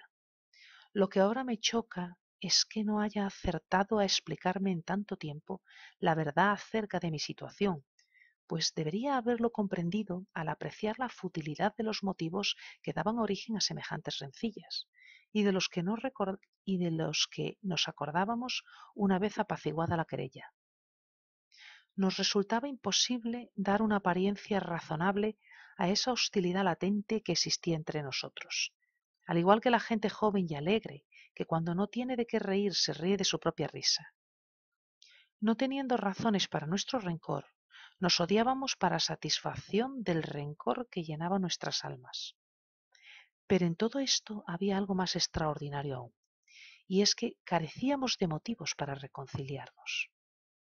Algunas veces mediaban explicaciones, palabras, lágrimas. Otras, lo recuerdo con asco, después de intercambiar las frases más duras, venían miradas tiernas, sonrisas y besos. ¡Qué horror! ¿Cómo es posible que no me haya dado cuenta antes de todas estas ignominias? 13.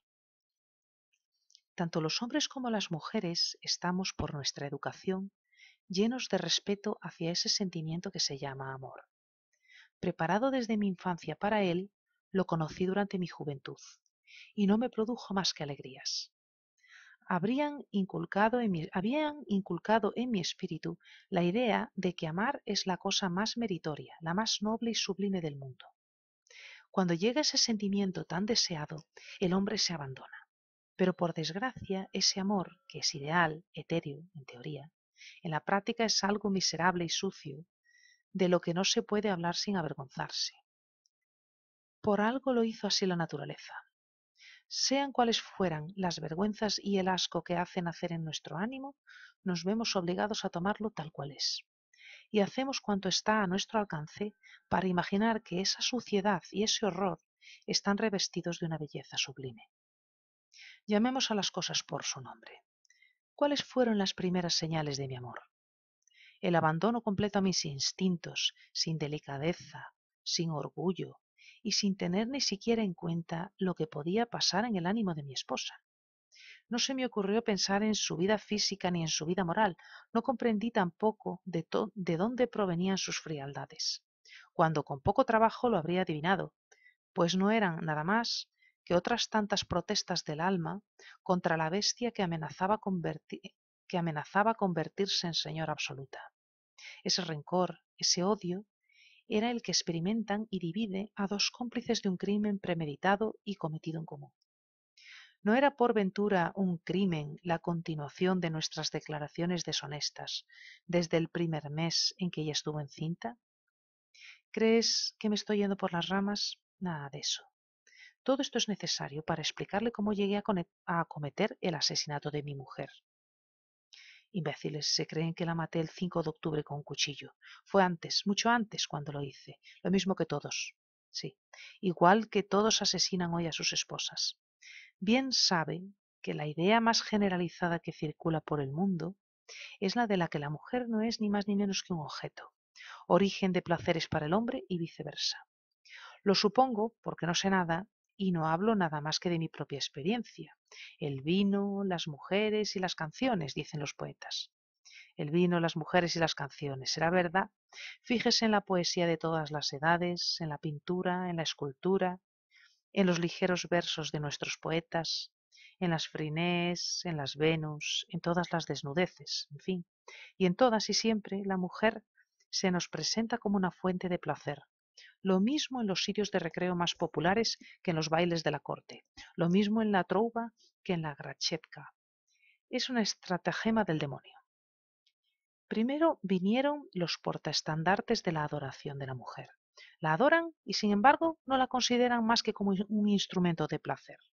Luego, en nuestros días, apareció el respeto a la mujer, a la que se ensalza, aunque se recoge con ansia lo que deja caer, llegando algunos al extremo de reconocerle el derecho de sufragio, el de desempeñar ciertos cargos, etc. En el fondo, las opiniones siguen siendo las mismas. La mujer no es más que un instrumento de placer, y ella no lo ignora. Y esto es para ella como la esclavitud, porque no es ni más ni menos que la explotación del trabajo de unos para el goce de los demás. Si se quiere abolir la esclavitud, es preciso impedir esa explotación y hacer que sea considerada como una vergüenza y un pecado. Se han figurado que ha quedado abolida hoy en día, porque cambiaron las condiciones y se prohibió la venta de esclavos, y no se fijan en que, a pesar de eso, sigue subsistiendo. ¿Por qué? Porque siempre hay un impulso hacia la explotación que parece equitativa y buena. Y la verdad es que desde que esta opinión se abrió paso se encuentran hombres que, siendo más astutos y más fuertes, se dedican a explotar a los demás. Lo mismo sucede con la emancipación de la mujer. Su esclavitud consiste en que a los hombres les parece equitativo el deseo que experimentan de convertirla en instrumento de placer. Se emancipa a la mujer, se le conceden diversos derechos iguales al hombre, pero no se la deja de considerar como un ser consagrado al servicio del placer. Y en ese sentido, se la educa desde su infancia bajo la influencia de la opinión pública. De este modo, continúa en la humillación de la esclavitud, y el hombre sigue siendo el mismo amo, tan poco moral, tan libertino siempre. Para que semejante esclavitud se pudiese abolir, sería preciso que la opinión pública estigmatizase como la más grande de las ignominias el no ver en la mujer más que un instrumento de placer. No es en los establecimientos de enseñanza ni en los ministerios donde puede realizarse esa emancipación. Es en la familia, y no en las casas de tolerancia donde se debe combatir eficazmente la prostitución. Emancipemos a la mujer en los elogios y en el trato social, y no obstante, no dejamos de considerarla como un instrumento de placer. Enseñad a la mujer a conocerse, como nos conocemos nosotros, y seguirá siendo un ser inferior o con el auxilio de los médicos poco escrupulosos procurará no concebir y llegará a ser ya no un animal, sino un objeto, o bien, y este es el caso más frecuente, será desgraciada, estará agotada por los nervios y no tendrá esperanza alguna de emancipación moral. ¿Pero por qué? pregunté. A mí lo que me extraña más que nada es que nadie quiere ver lo que salta a la vista.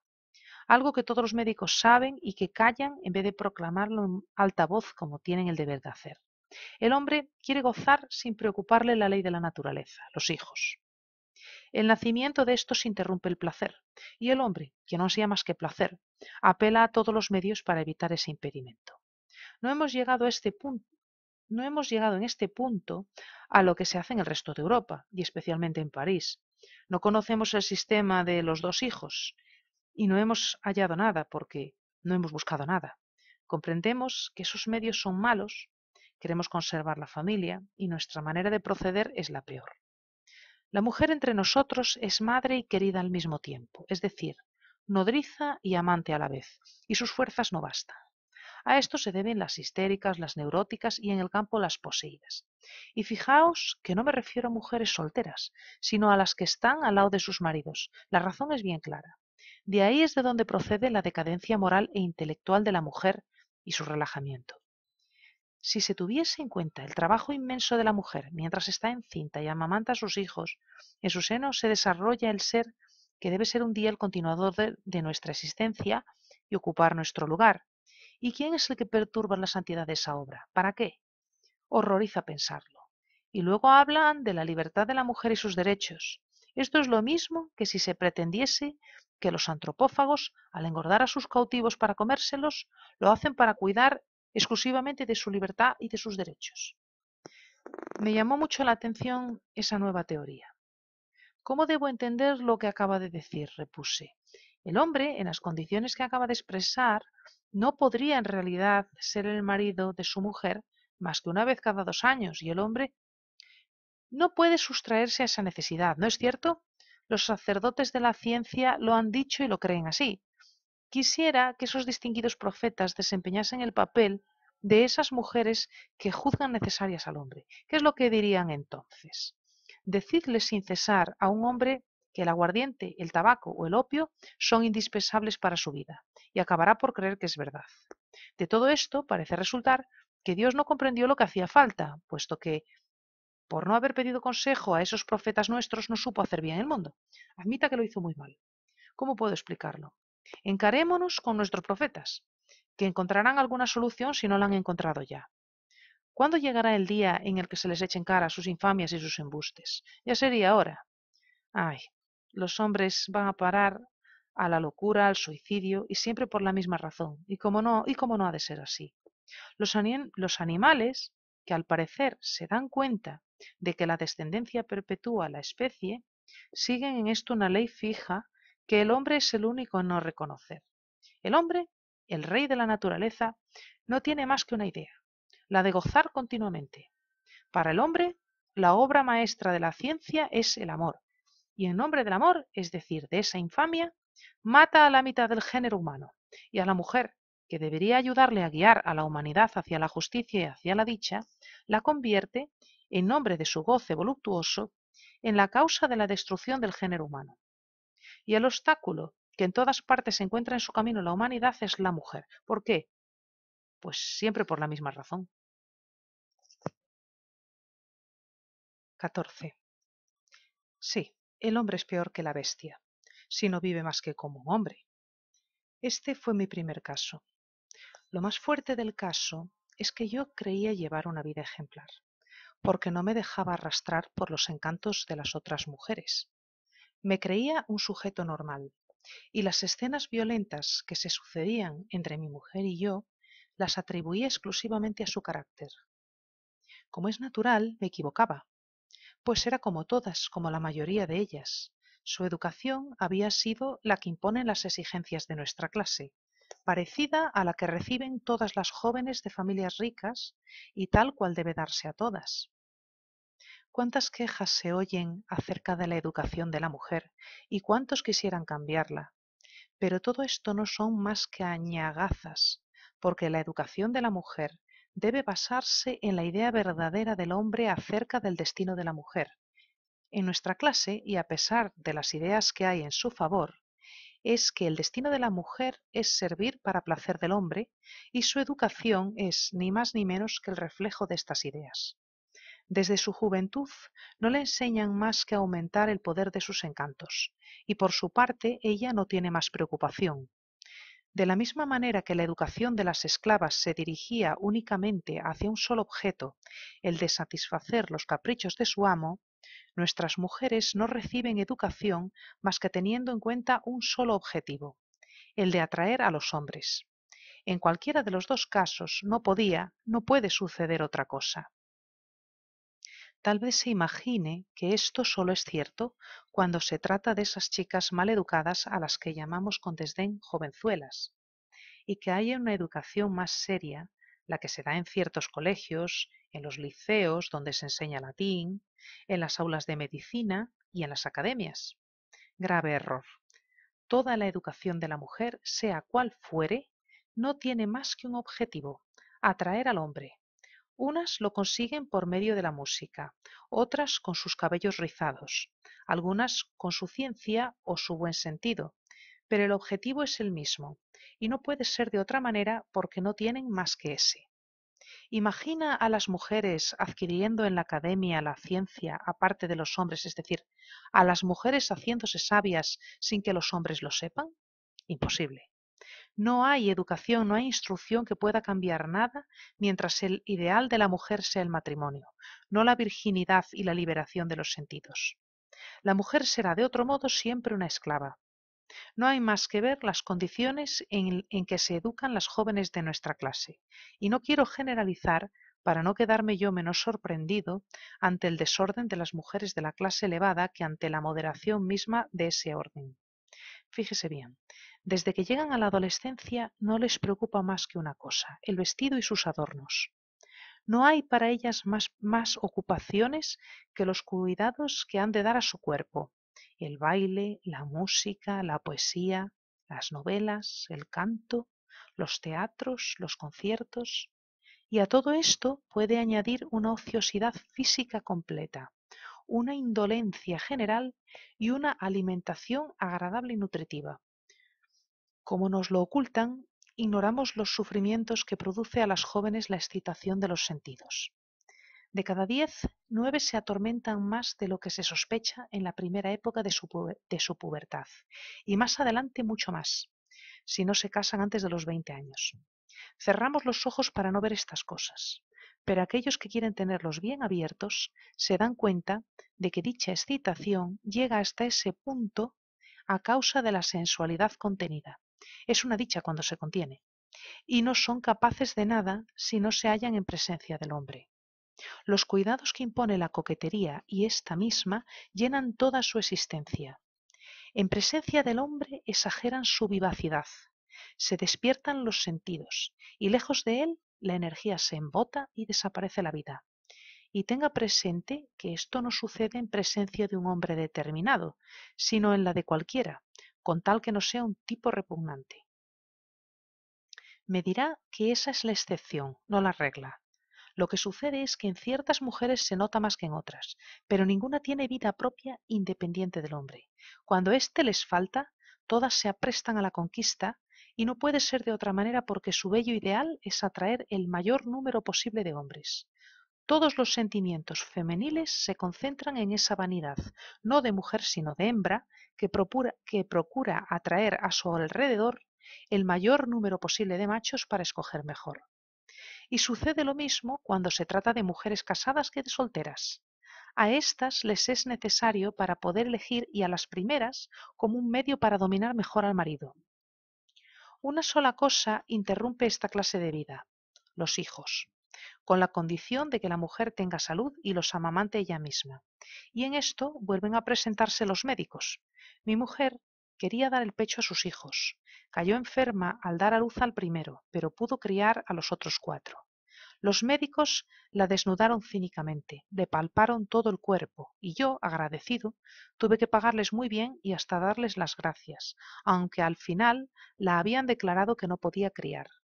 De este modo quedó privada desde el principio de la única cosa que podía distraerla de la coquetería.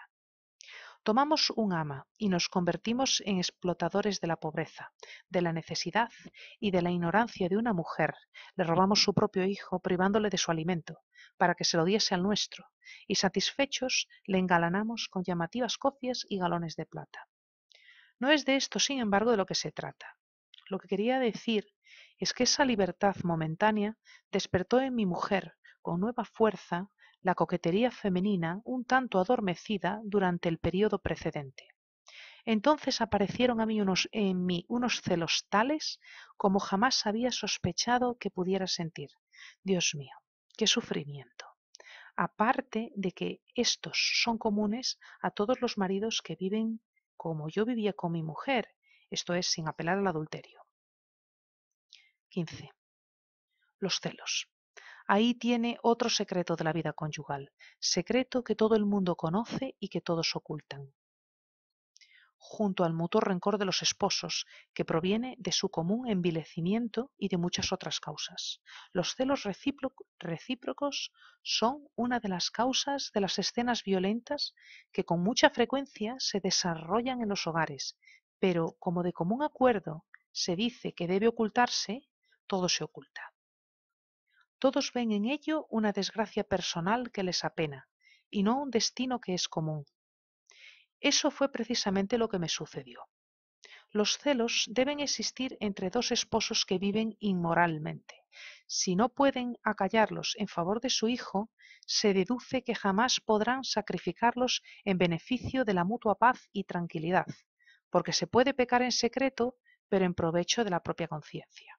Ambos saben que no hay, ni para el uno ni para el otro obstáculos morales que se opongan a la consumación de una infidelidad, y lo saben porque ellos mismos violan todos los días y en sus relaciones recíprocas los principios de la moral, y de ahí la desconfianza mutua y la vigilancia del uno para con el otro.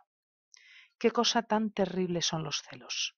No hablo de los celos verdaderos que al menos tienen su razón de ser, estos producen tormentos, pero se puede encontrar remedio. Me refiero a esos celos inconscientes, acólitos fatales de toda vida inmoral y que no tienen fin como tampoco tienen causa. Estos son como un cáncer, un mal horrendo que corroe noche y día, día y noche. Son espantosos, verdaderamente insoportables. ¿Quiere que le cite un ejemplo? Un joven habla a mi mujer, la mira sonriendo y me figuro que con la mirada escruta su cuerpo. ¿Cómo se atreve a pensar en mi mujer y en la posibilidad de hacer una novela con ella? ¿Y cómo ella que lo ve puede tolerar semejante cosa? Y no solo la, la tolera, sino que además parece muy satisfecha y hasta su satisfacción, lo observo, se manifiesta por él. En mi corazón se desarrolla entonces un odio tan feroz que todas sus palabras, todos sus gestos me excitan. Lo advierte y se corta fingiendo indiferencia. Yo sufro y ella está alegre y habladora. Mi odio va en aumento y no puedo por menos de dominarlo porque no tengo motivos para estar celoso y lo sé. Se sienta uno a su lado, hace un papel indiferente y hasta le dispensa al joven en cuestión una acogida cordial y cortés, y luego descontento uno de sí mismo, quiere abandonar la habitación dejándola sola. Y procede así, efectivamente, y apenas se halla fuera, se le ocurre un pensamiento terrible y se pregunta ¿qué pasará ahí dentro? Entonces, aprovechando cualquier pretexto, vuelve a entrar o, si no, escucha tras la puerta. ¿Cómo es posible que ella se pueda envilecer y envilecerme a mí hasta ese extremo, haciéndome desempeñar el humillante papel de espía, tan humano y al mismo tiempo tan indigno. ¿Y él? Pues él es lo mismo que todos los hombres, como lo era yo antes de casarme. Está muy satisfecho, sonríe y me mira como diciéndome ¿Qué quieres? Ahora me toca a mí. Sentimiento horrendo. Como no es menos tremendo el veneno que inyecta en nuestras venas. Ah, cuánto habría dado por poder sospechar con fundamento de un hombre para arrojarle a la cara ese veneno. Habría quedado marcado como si le hubieran echado vitriolo, sin duda. Me bastaba con tener celos una sola vez de un hombre para no seguir manteniendo el mismo tono con él en nuestras relaciones habituales, para no poderlo mirar con calma.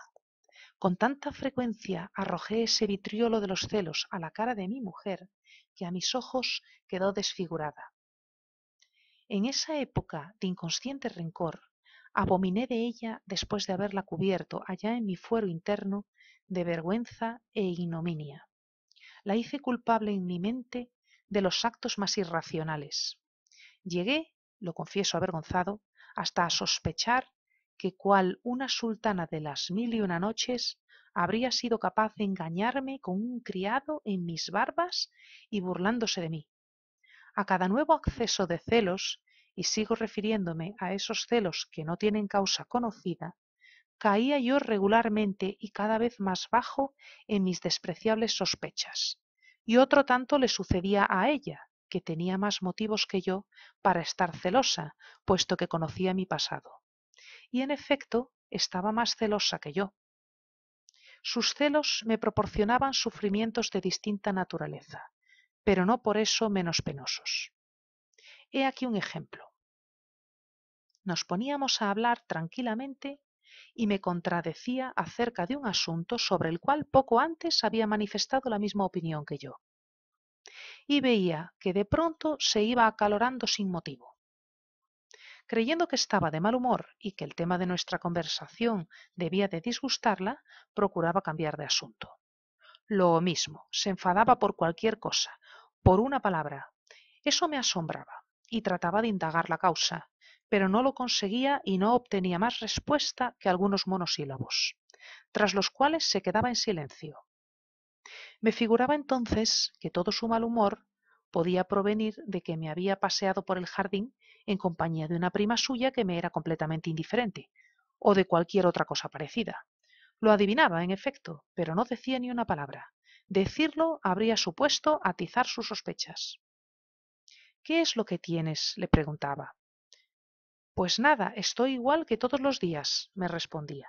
Y sin embargo se ponía arrebatada como una loca, empezaba a decir despropósitos sin fundamento. Algunas veces daba pruebas de una paciencia extraordinaria, otras estallaba la tempestad y arrasaba a cada cual por su lado. Aquello era una lluvia de ultrajes, y recibía en pleno rostro la acusación del pretendido crimen. Se desbordaba y después venían las lágrimas, los sollozos, o se marchaba corriendo para ocultarse en lugares tan inverosímiles que no era posible sospechar que hubiese ido a buscar refugio en ellos. Allí costaba gran trabajo encontrarla. Avergonzado, me ponía a buscarla en presencia de hijos y criados. Había que hacerlo, porque la creía capaz de todo. La seguíamos, la encontrábamos, y qué noches más terribles después. No se oían más que palabras amargas, acusaciones penosas, y sólo después de algunos ataques de nervios recobrábamos la calma. Sí, esos celos injustificados eran la plaga de nuestra vida conyugal, y confieso que me hicieron sufrir de una manera horrorosa mientras duraron. Hubo dos épocas en que mi sufrimiento fue más intenso. La primera se remonta al nacimiento de mi primer hijo, cuando tuvimos que tomar un ama de cría por haber prohibido los médicos a mi mujer que lo criase. Esos celos provinieron al principio de la inquietud de madre que mi esposa experimentó respecto al que sin culpa venía a ser un trastorno en la regularidad de nuestra vida, pero más que nada provino de la facilidad con que la vida renunciara a sus deberes maternales, lo que contribuía a que dedujese, tanto por instinto como razonadamente, que con la misma facilidad podía abandonar sus deberes de esposa, tanto más cuanto que gozaba de una salud excelente y que a pesar de la prohibición de los médicos, dio el pecho con fortuna a los hijos que tuvo más adelante.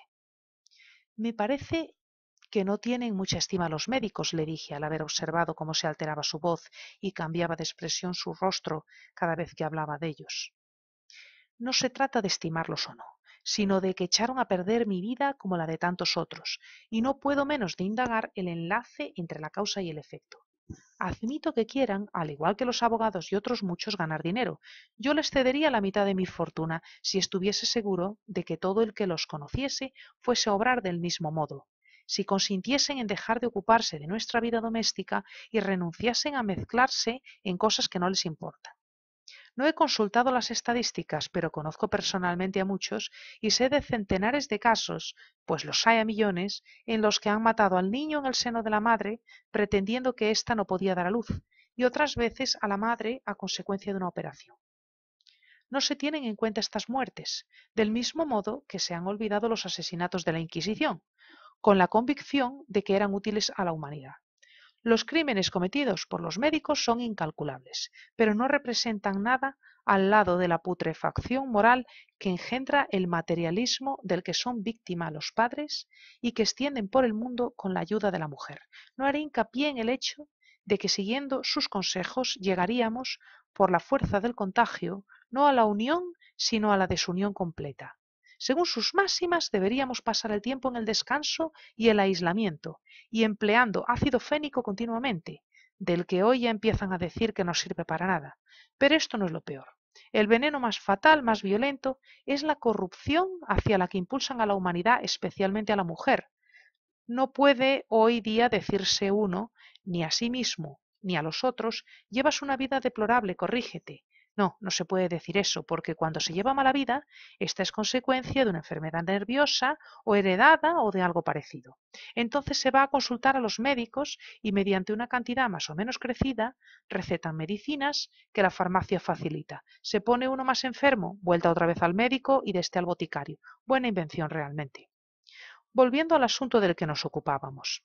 Debo decir que mi mujer crió muy bien a sus hijos y que éstos sirvieron para calmar los sufrimientos que me ocasionaban mis celos, pero, ay, fueron la causa de nuevos trastornos.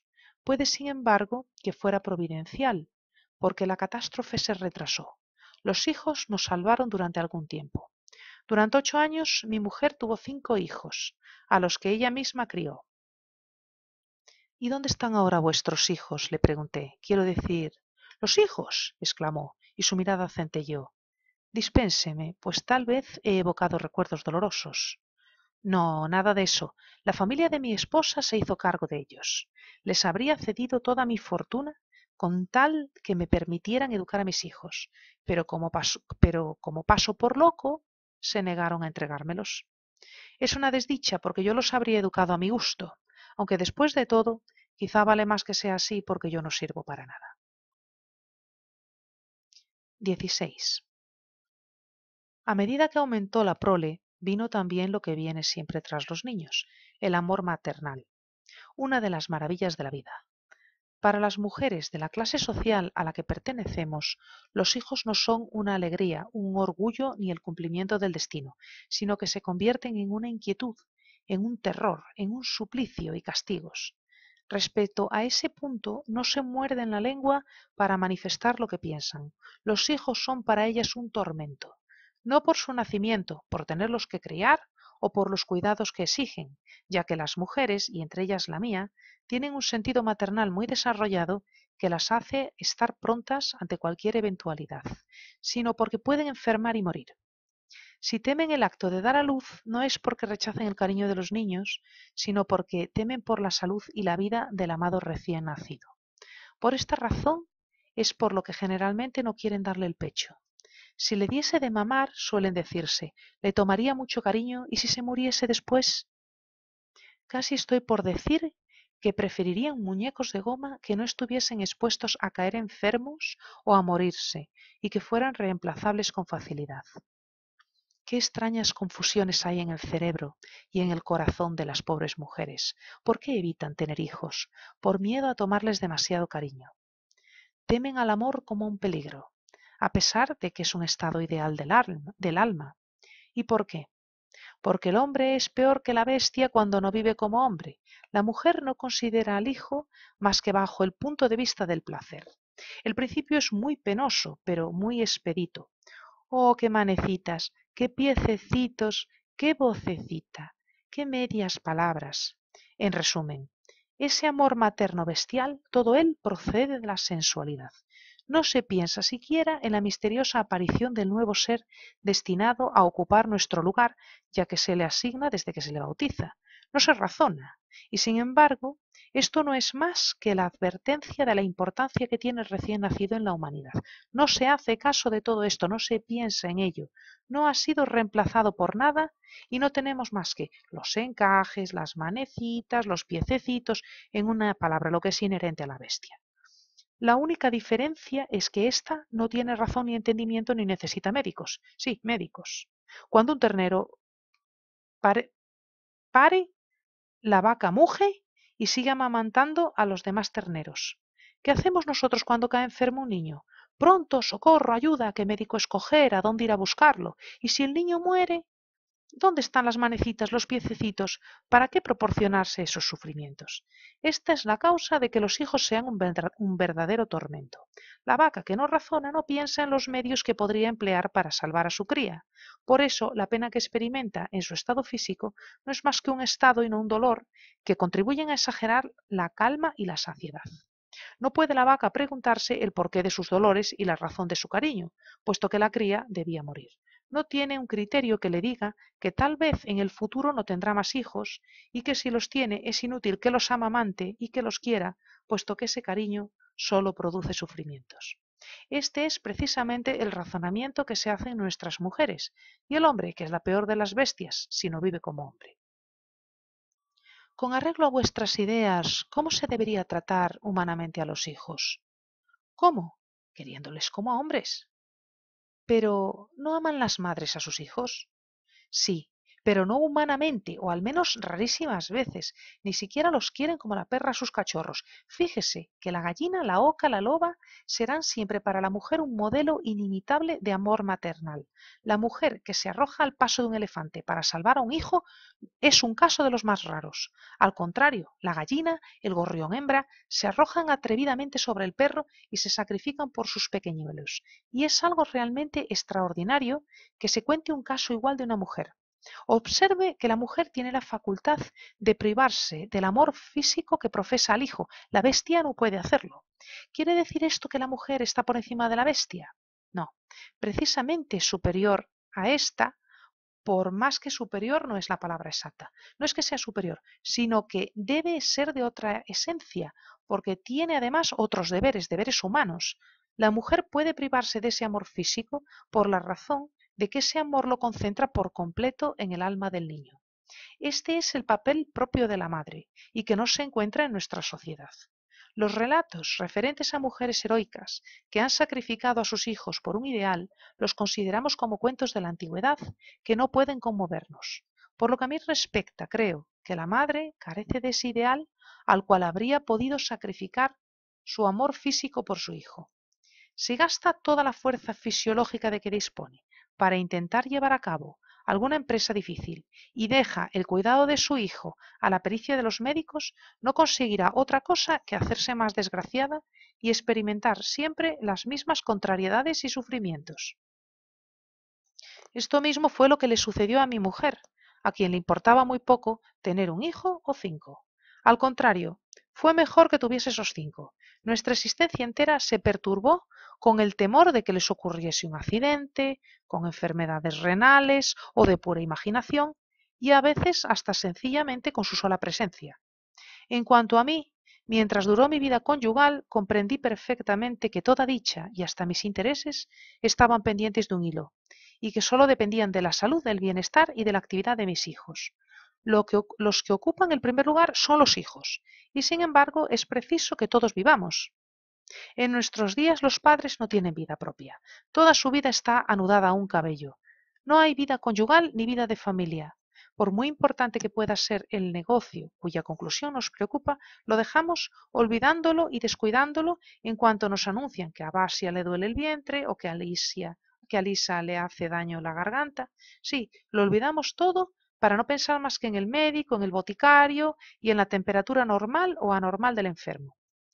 Debo añadir que es imposible entablar una conversación seria sin que por intempestiva que sea la hora no entre Periguín en la habitación para pedir que se le dé una manzana o para preguntar qué traje le han de poner, o sin que la nodriza se presente llevando al chiquillo que llora.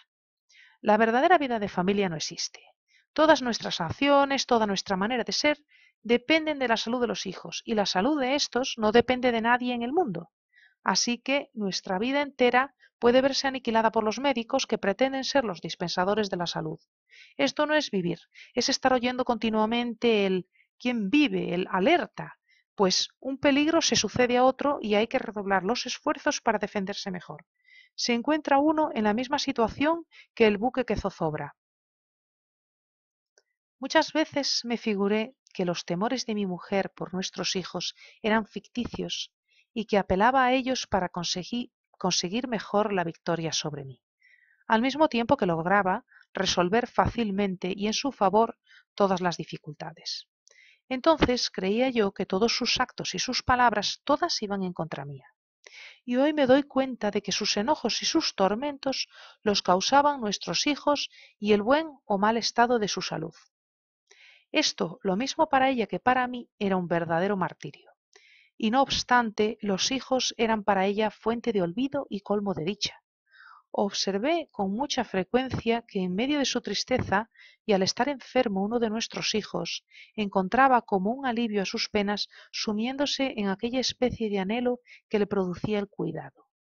Ese anhelo, esa singular embriaguez, eran forzados, porque faltaba toda distracción de otra clase. A cada momento le contaban que la señora X había perdido sus dos hijos que el médico tal salvó los de la señora N y que la otra familia había cambiado de aires evitando que así se muriesen los niños. Como era natural, los médicos, pavoneándose, confirmaban el hecho, y eso contribuía a afirmar las creencias de mi esposa. Es indudable que habría querido no tener miedo, pero bastaba con que el médico pronunciase estas palabras envenenamiento de la sangre, escarlatina o, Dios la libre de ella, difteria, para que se trastornase y era imposible que sucediese de otro modo. Si las mujeres de ahora tuviesen las mismas creencias que las mujeres de tiempos pasados que decían Dios nos los dio, Dios nos los quitó, el alma de del niño vuela hacia Dios, la muerte hace de él un bienaventurado porque murió en la inocencia, y en fin, si tuviesen esa ciencia que tan generalizada estuvo siempre en el pasado, si tuviesen un sentimiento que recordasen algo esa fe sobrellevarían con más valor y calma las enfermedades de sus hijos, pero no conservan ni la sombra de esa fe que desapareció para no volver. Sin embargo, la humanidad tiene necesidad de una creencia y por eso la mujer cree ciegamente en la medicina. Mejor dicho, en la medicina no, en los médicos. Para esta, el mejor médico es el doctor A, para aquella el doctor B, y cual les pasa a todos los fanáticos, no se dan cuenta de los defectos, de las faltas del ídolo. Creen, porque sí, cui absurdo. Si no se mostrasen tan, tan testarudas con una creencia cualquiera, por poco razonada que sea, seguro que se darían cuenta exacta de la falta de fundamento, al mismo tiempo que de la vanidad y de la prosopopeya de esos asesinos. La escarlatina, por ejemplo, es una enfermedad contagiosa.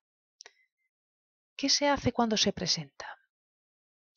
Pues llevar a la mitad de la familia a una fonda. A nosotros nos pasó dos veces. Era una población importante.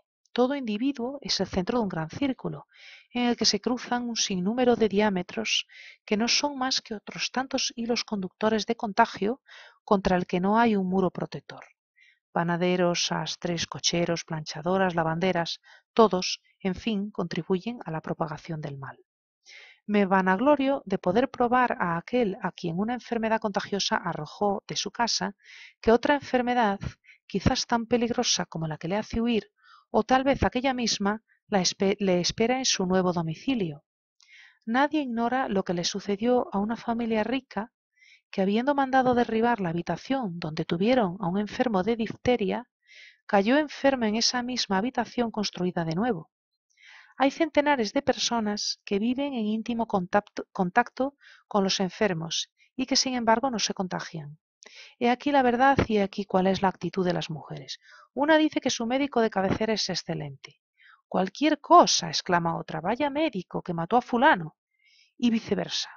Presentadle a nuestras señoras un médico de aldea y no tendrán en él la menor confianza. Llamad, por el contrario, a otro médico que gasta coche, que adquirió los mismos conocimientos que el otro, en los mismos libros, aulas y clínicas, pero que pide 100 rublos por visita y en este último tendrán confianza absoluta. No saben siquiera nuestras mujeres qué es lo que quieren, porque habiendo perdido la creencia en Dios, unas tienen fe en las echadoras de cartas, en las sonámbulas y en las curanderas, y otras en el afamado doctor N porque exige honorarios elevados y tiene muchas excentricidades. Si tuviesen fe, sabrían que la escarlatina y otras enfermedades del mismo género no son tan temibles puesto que no pueden hacer el menor daño a la única cosa que el hombre puede y debe amar, que es el alma. Sabrían también entonces que todo cuanto pueda sucedernos son acontecimientos que no podemos evitar, la enfermedad y la muerte. Esa falta, esa carencia de fe en Dios, son las que hacen que su amor sea puramente físico y pasen todo el tiempo empleando sus energías en realizar una utopía, la de la prolongación de la vida. Utopía cuya realización prometen los médicos a los imbéciles y especialmente a las mujeres. Así que éstas, al vislumbrar el, el menor peligro, acuden a ellos. Nuestros hijos no contribuyen a suavizar nuestras relaciones ni a la unión más perfecta e íntima, sino que, por el contrario, sirvieron para acentuar nuestra desunión y fueron una causa más de disgusto. Desde el día en que nacieron, se convirtieron para nosotros en un arma de combate, en un pretexto más para discutir, porque cada uno de nosotros tenía un favorito que le servía de arma para la lucha. El mío era Basia, el de mi mujer Lisa, la hija mayor. Cuando crecieron y su carácter se fue perfilando, los consideramos como aliados que queríamos atraer a nuestro bando. Su educación se resentía, naturalmente, a consecuencia de esta situación anormal, pero ¿qué hacer? Con nuestras eternas disputas no podíamos ocuparnos de aquellas pobres criaturas.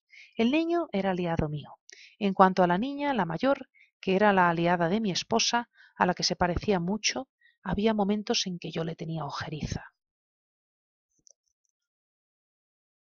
17.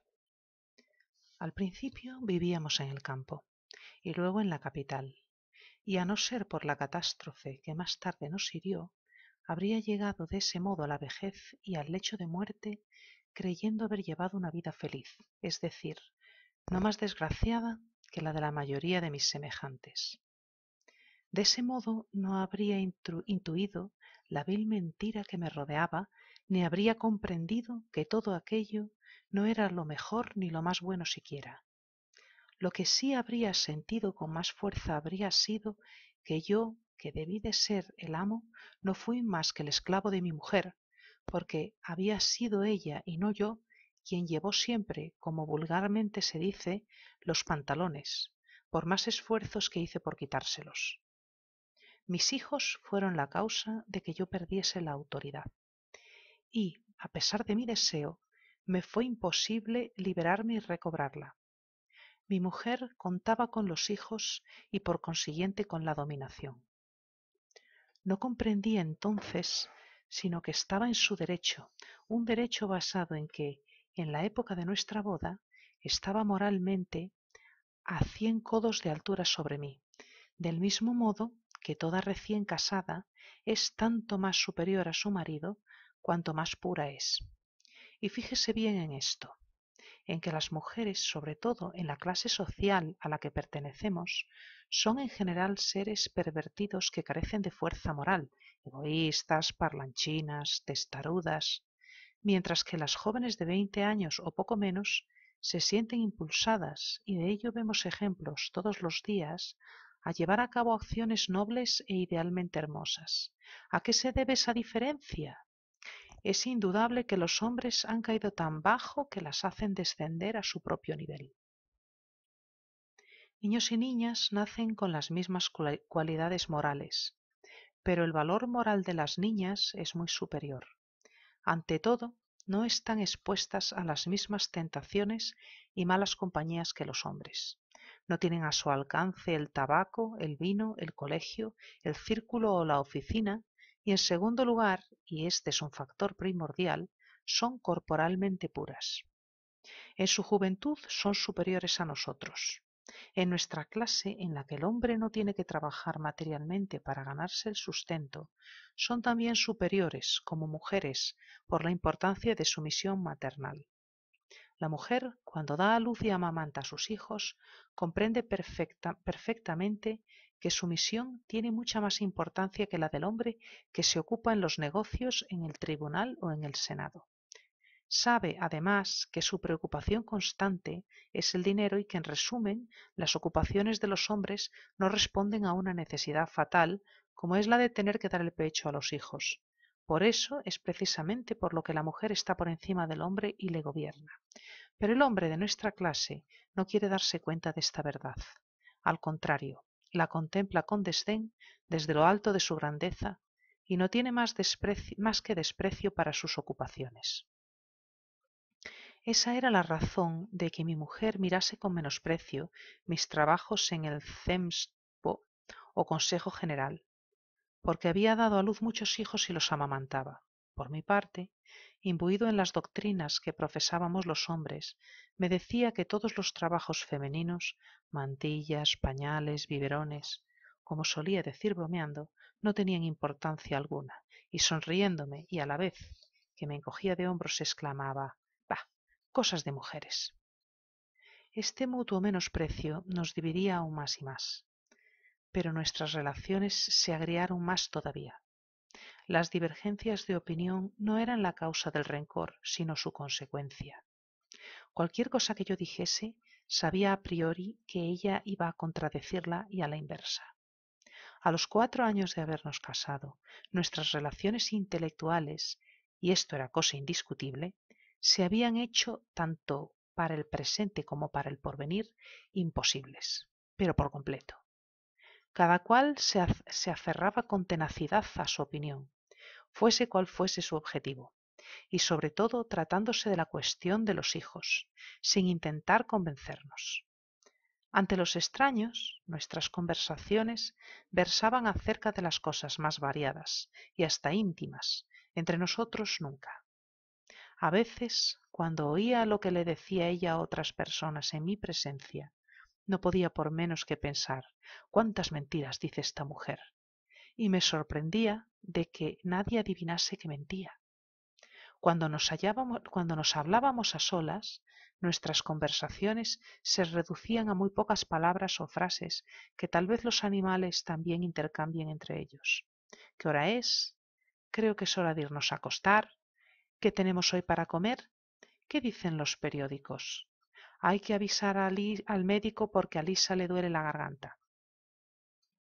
En cuanto nos apartábamos de ese círculo de conversaciones, por poco que fuese, para cambiar de tema, estallaba la tempestad, y únicamente la presencia de un tercero que servía, por así decirlo, de intermediario a nuestra conversación, contribuía a que durante un momento nos mostrásemos más sociables. Mi mujer probablemente creía que la razón estaba de su parte, y en cuanto a mí, Dios me lo perdone, me tenía a su lado por un santo. Los períodos de eso que llamamos amor eran tan frecuentes como antes, pero más brutales, menos suaves y sin ningún refinamiento, aparte de muy cortos. A esos momentos de placer sucedían rápidamente otros de malestar, cólera irreflexiva, reflexiva, una irritación que se fundaba en los más fútiles y absurdos pretextos.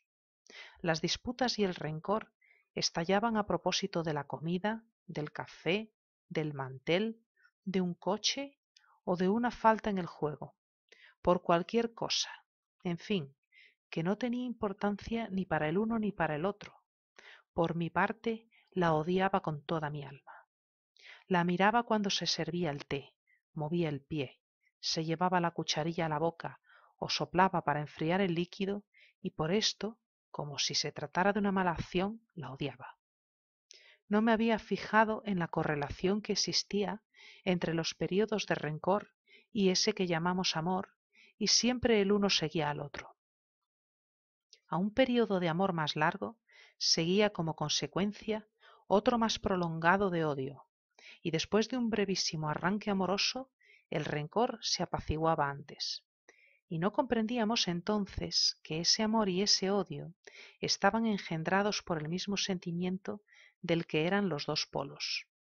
Si hubiésemos acertado a ver con precisión cuál era el fondo verdadero de nuestra situación, nuestra vida habría sido terrible, pero estábamos completamente ciegos el uno y el otro y no comprendíamos nada. En esto precisamente está el castigo y la felicidad del hombre. Y es en lo que puede, por su manera irregular de vivir, hacerse ilusiones acerca de lo triste de su situación. Eso fue lo que nos sucedió. Mi mujer procuró olvidar, creándose numerosas ocupaciones. Los cuidados de su propio tocado, la instrucción y sobre todo la salud de los hijos. Estas diversas ocupaciones no estaban justificadas por una conveniencia o necesidad urgentes, y no obstante, veces no parecía sino que su vida entera, y hasta la de sus hijos, dependía de la cocción más o menos acertada de unos pastelillos, del cambio de cortinajes, de un traje echado a perder, de unas lecciones o de la medicina que era necesario tomar unas horas determinadas. Pero a mí no se me escapaba que todo esto no era más que un medio para olvidar, una especie de embriaguez parecida a la que buscaba yo en mis tareas del Consejo General, en la caza o en el juego. En cuanto a mí, estaba ebrio en toda la extensión de la palabra, aun cuando no fuese gran bebedor, pues no tomaba más que un vaso de aguardiente antes de la comida y dos de vino durante la misma. Así pues, una neblina continua me ocultaba las miserias de mi existencia. No son concepciones inofensivas esas modernas teorías acerca del hipnotismo, las enfermedades mentales y el histerismo, sino que, por el contrario, son perniciosas y peligrosas. Estoy seguro de que el doctor Charcot habría diagnosticado que mi mujer era una histérica y yo un anormal, a pesar de lo cual a nosotros dos no tenían que curarnos de nada, porque nuestra enfermedad mental se, se derivaba de la inmoralidad de nuestra existencia. Esta vida inmoral nos producía toda clase de sufrimientos y para curarlos apelábamos a los remedios más extraordinarios. Eso es a lo que los médicos llaman síntomas de una enfermedad mental, el histerismo. La ciencia de Charcot y de todos los demás no puede nada contra esas enfermedades que no se curan con bromuro ni con la sugestión. Hay que darse cuenta del lugar en que tiene el mal sus raíces, y lo mismo que si se buscase una esquirla que estuviese clavada en la carne, es preciso buscar la herida de la vida. Para conseguir que cesen los dolores, basta con cambiar la manera de vivir no es necesario apelar a esos procedimientos que aturden.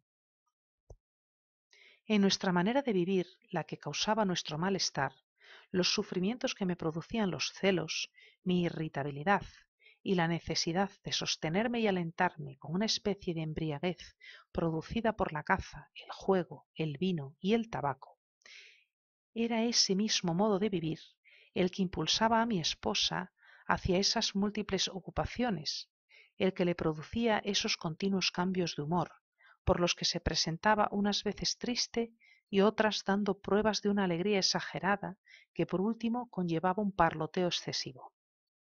Todo esto procedía de su necesidad de olvidar, de no acordarse de la vida con el aturdimiento que produce el comienzo y la finalización de un trabajo para emprender otro enseguida.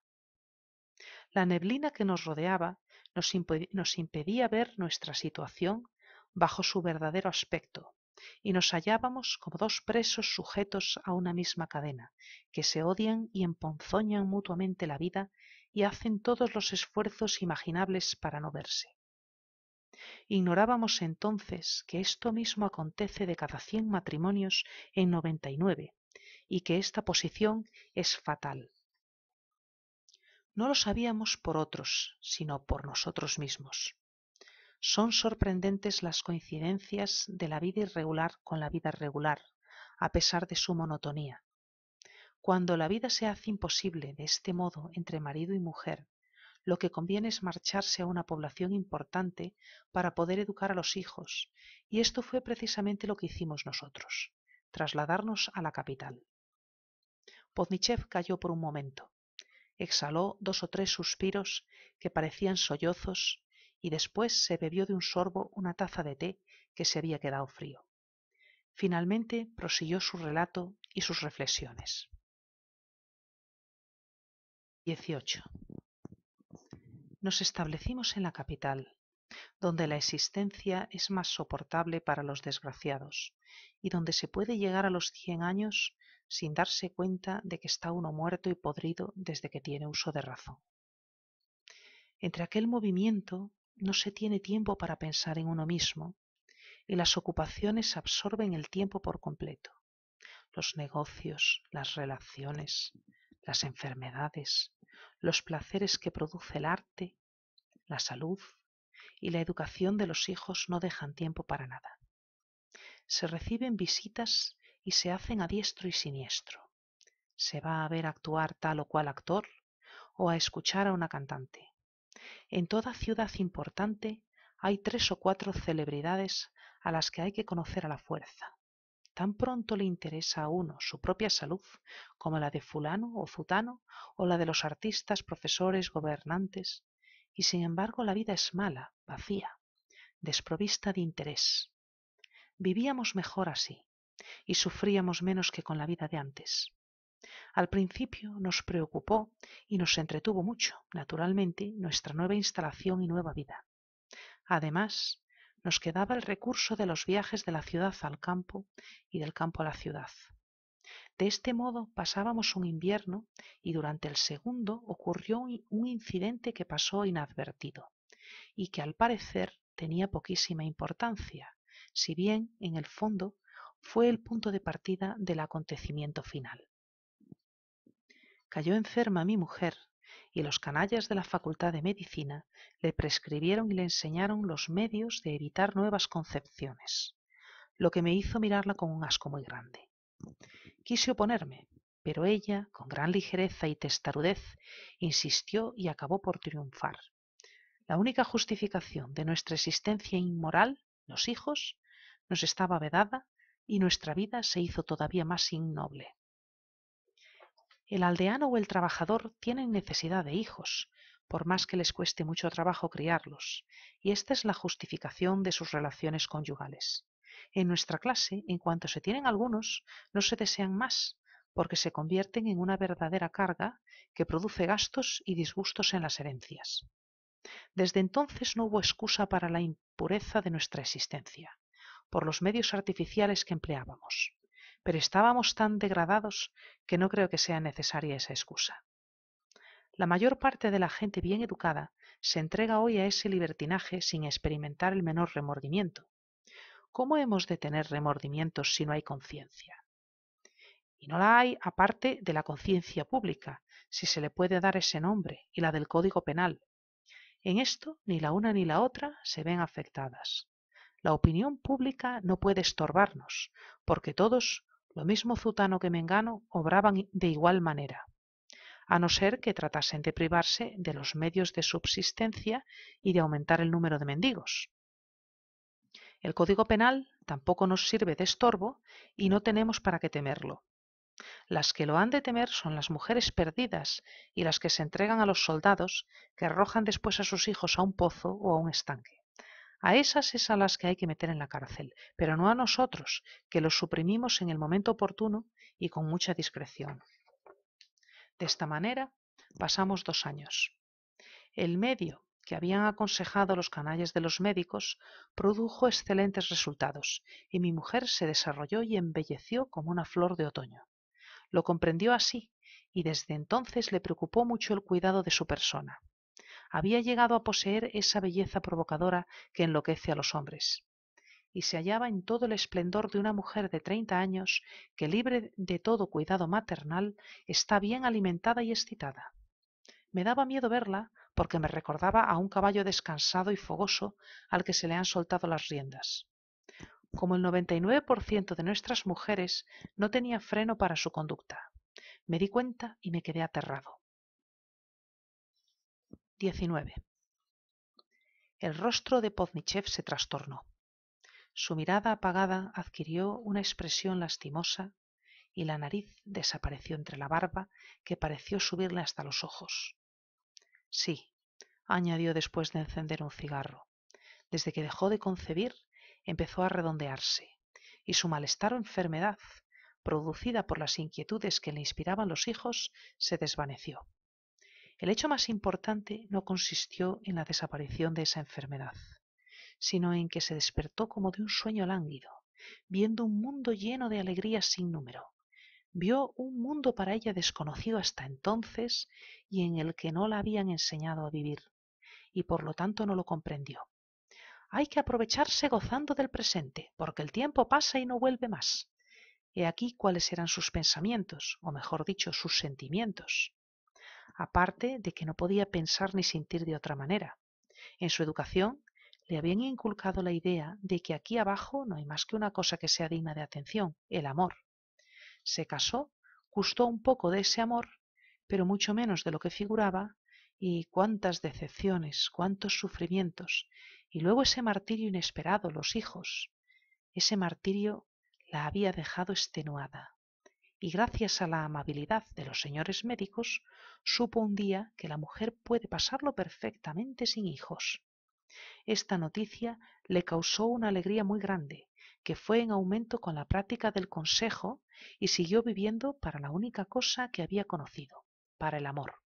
Pero el amor hacia un marido que tenía celos y que a veces le daba pruebas de mal carácter no era un ideal. Soñaba con otra ternura más pura, o al menos eso era lo que yo me figuraba. Estaba al acecho, miraba a todas partes como si hubiera estado esperando alguna cosa. Lo observé, y una ansiedad muy grande y una tristeza muy profunda se apoderaron de mí. En todas partes y siempre, cuando hablaba conmigo por medio de un intermediario, o sea, en presencia de un tercero o de extraños, pero con intención de que yo lo oyese, repetía con mucho ánimo y olvidando que una hora antes sostuvo todo lo contrario, medio en broma, medio en serio, que las preocupaciones maternales eran un error, y que no valía la pena dar vida a los hijos mientras se es joven y se puede gozar de todo.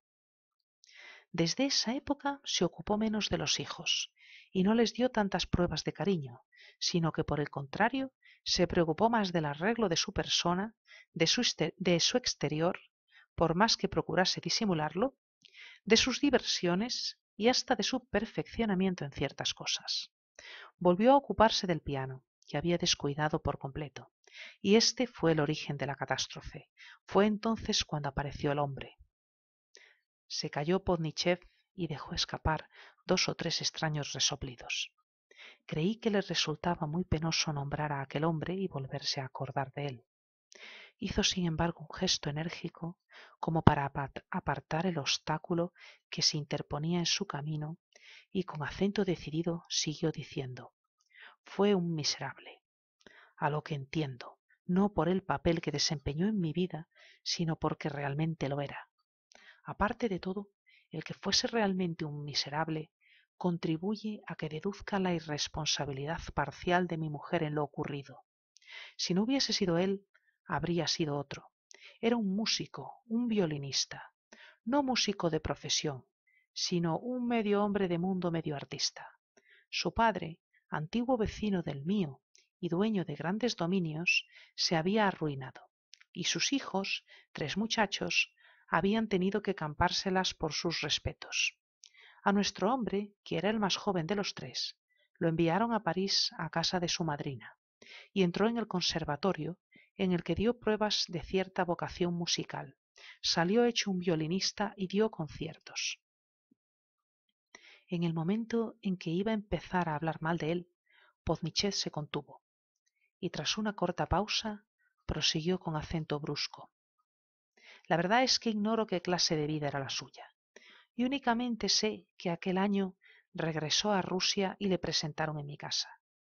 Tenía ojos tiernos, rasgados, en forma de almendra, labios rojos y sonrientes, bigotillo retorcido y el pelo cortado a la última moda. Era apuesto, pero de rostro vulgar. En una palabra, eso que las mujeres llaman un buen mozo de elegante talle. Casi talle de mi mujer, pero no obstante bien proporcionado, correcto en sus modales, pronto a adquirir cierta familiaridad, pero hábil para al observar la menor frialdad retroceder y conservar su dignidad. Había en él un no sé qué de parisiense con sus botines, sus corbatas de color claro y su aspecto en general producía excelente impresión en las mujeres por ese no sé qué particular y nuevo que desprendía de su persona. Sus modales estaban impregnados de una alegría ficticia. Se expresaba por medio de alusiones, de frases a medio decir, como si su interlocutor hubiese estado al corriente de lo que se trataba, o más bien dispuesto a ayudarle para que se acordase al hacer un relato. Ese hombre fue el que con su música trajo la catástrofe. En el tribunal echaron la culpa a mis celos, lo cual no era exacto, al menos no del todo. En la vista de la causa se decidió que me habían engañado y que maté para vengar mi honor ultrajado. ¿No es este el lenguaje que emplea la gente de la curia? Y me absolvieron. Quise explicarles el motivo que me impulsó, y creyeron que intentaba rehabilitar el honor de mi mujer. Aparte de todo, sus relaciones con el músico, hayan sido las que hayan sido, no tuvieron importancia ni para ella ni para mí. Lo único importante es lo que le he contado. Todo el drama estriba en la llegada de ese hombre a nuestra casa en los momentos en que nos hallábamos sumidos en la más lamentable de las confusiones, animados por ese mutuo rencor del que ya he hablado, y en una situación en la cual la más diminuta gota de agua bastaba para que desbordase el vaso. Las últimas disputas, que en los últimos tiempos habían sido tremendas, tenían la asombrosa consecuencia de provocar en nosotros accesos de pasión bestial. Si ese hombre no se hubiese presentado en nuestra casa, cualquier otro habría sido el protagonista. Si mis celos no me hubiesen servido de pretexto, habría encontrado otro. Estoy íntimamente convencido de que todos los hombres que llevan una vida conyugal como la mía deben entregarse al libertinaje o divorciarse, matar o matarse o matar a su mujer, que fue lo que hice yo. Aquel a quien sucede esto no es un ave rara. Mucho antes del desenlace estuve a punto de suicidarme, y más de una vez quiso envenenarse mi mujer. 20. Para que pueda comprender bien lo que sucedió, es preciso que le cuente todos los detalles. Poco a poco nuestra vida iba haciéndose más tranquila cuando he aquí que de pronto una noche se nos ocurrió hablar de la educación que había que dar a nuestros hijos. No recuerdo las palabras que pronunciamos uno y otro. Lo único que sé es que la disputa empezó pasando la conversación de un asunto a otro y que a los reproches sucedieron las recriminaciones. Sí, siempre sucede lo mismo, la misma historia de siempre. ¿Has dicho no, yo no he dicho. Mientes. ¿Qué? ¿Que yo miento, eh? Se acercaba una crisis espantosa y se agrandó ésta impulsándome al asesinato y al suicidio. La crisis estaba allí, la temía como al fuego. Quería contenerme y la cólera pudo más, arrastrándome. Mi mujer se hallaba en un estado idéntico o peor aún, porque desnaturalizó todas las palabras y puso en ellas algo como veneno, arrastrado por el lodo y mancillando todo aquello para mí más querido. La crisis iba aumentando y adquiriendo intensidad.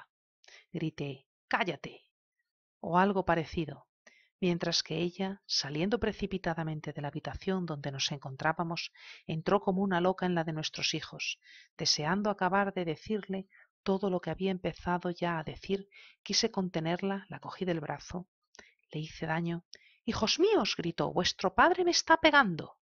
Mientes, dije a mi mujer para que aumentase mi cólera, añadió, y no es la primera vez. Los niños se agruparon a su alrededor y procuró tranquilizarlos. No seas hipócrita, le dije. Todo es hipocresía para ti. Eres capaz de matar a alguien y de tener después valor para decir que solo aparenta estar muerto. Ahora comprendo qué es lo que quieres. Sí, quisiera reventarte como un perro, grité. Recuerdo aún el terror que a mí mismo me inspiraron esas palabras. En mi vida había creído poder pronunciarlas tan tremendas. Todavía estoy asombrado. Me marché a mi cuarto y me puse a fumar, y vi que mi mujer estaba en la antecámara disponiéndose a salir. ¿A dónde vas? le pregunté, y no me contestó.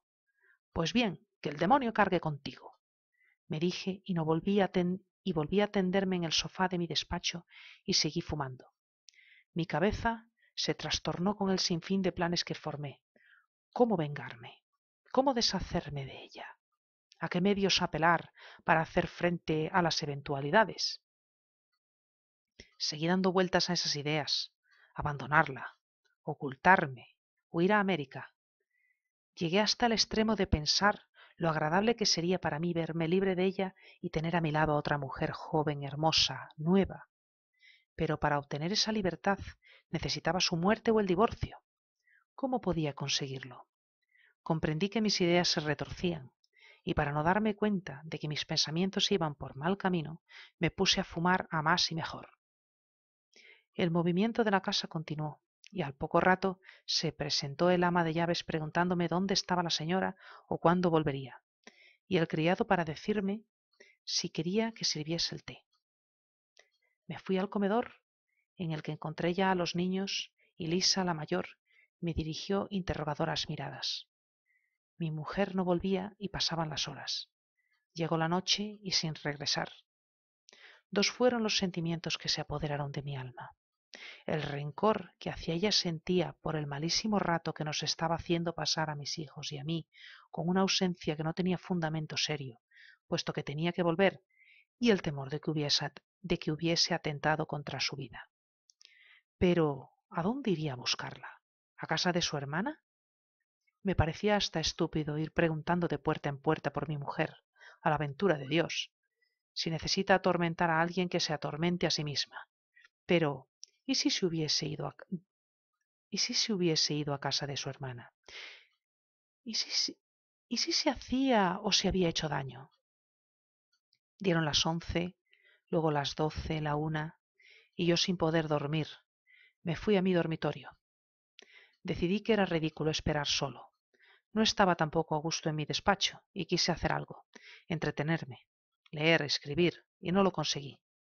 Allí, a solas, rabioso y sufriendo mil tormentos, rabié y escuché, y ella sin volver. A eso del amanecer me quedé adormilado y luego me desperté, comprobando que no había vuelto aún, y en la casa todo empezaba a seguir la marcha de los demás días. Todos me miraban con aire interrogante y los niños como con reproche. Yo seguía estando inquieto y esa inquietud contribuía a, reavivar mi odio. A eso de las once de la mañana se presentó su hermana, su embajadora, y soltó las frases de rigor. Mi hermana se encuentra en un estado lamentable, pero ¿qué ha pasado entre vosotros? ¿Qué significa esto? Pero si no vale la pena, etcétera, etcétera. Describí su carácter insoportable, declarando que no era yo el culpable y que no estaba, dispuesto a dar el primer paso, diciendo que si se quería divorciar, que lo hiciese. Mi cuñada rechazó la idea y se marchó sin haber conseguido nada. Yo era a veces muy testarudo y había decidido que no sería quien diese el primer paso. Apenas se marchó mi cuñada, entré en el cuarto de los niños a los que vi muy tristes. Ah, entonces sí que habría dado yo el primer paso, pero me lo impedía mi palabra. Iba y venía, pasaba el rato fumando. Al llegar la hora del almuerzo bebí el vino y aguardiente necesarios para llegar al estado de inconsciencia que deseaba, es decir, para no darme cuenta de la ignominia de mi situación. A cosa de las tres volvió mi mujer, y pasó por delante de mí sin decirme ni una palabra. Creyéndola apaciguada, le dije que sus inmerecidos reproches me habían hecho salirme de mis casillas. Me respondió con mucha frialdad, con rostro serio, un tanto abatido, que no había vuelto para oír mis excusas, sino para llevarse a sus hijos, puesto que no podíamos seguir viviendo juntos. Repliqué que yo no tenía la culpa, pues ella con su conducta me había enfurecido. Y entonces, con aire muy serio y solemne, me dijo Ten cuidado, no digas ni una palabra más porque te arrepentirás.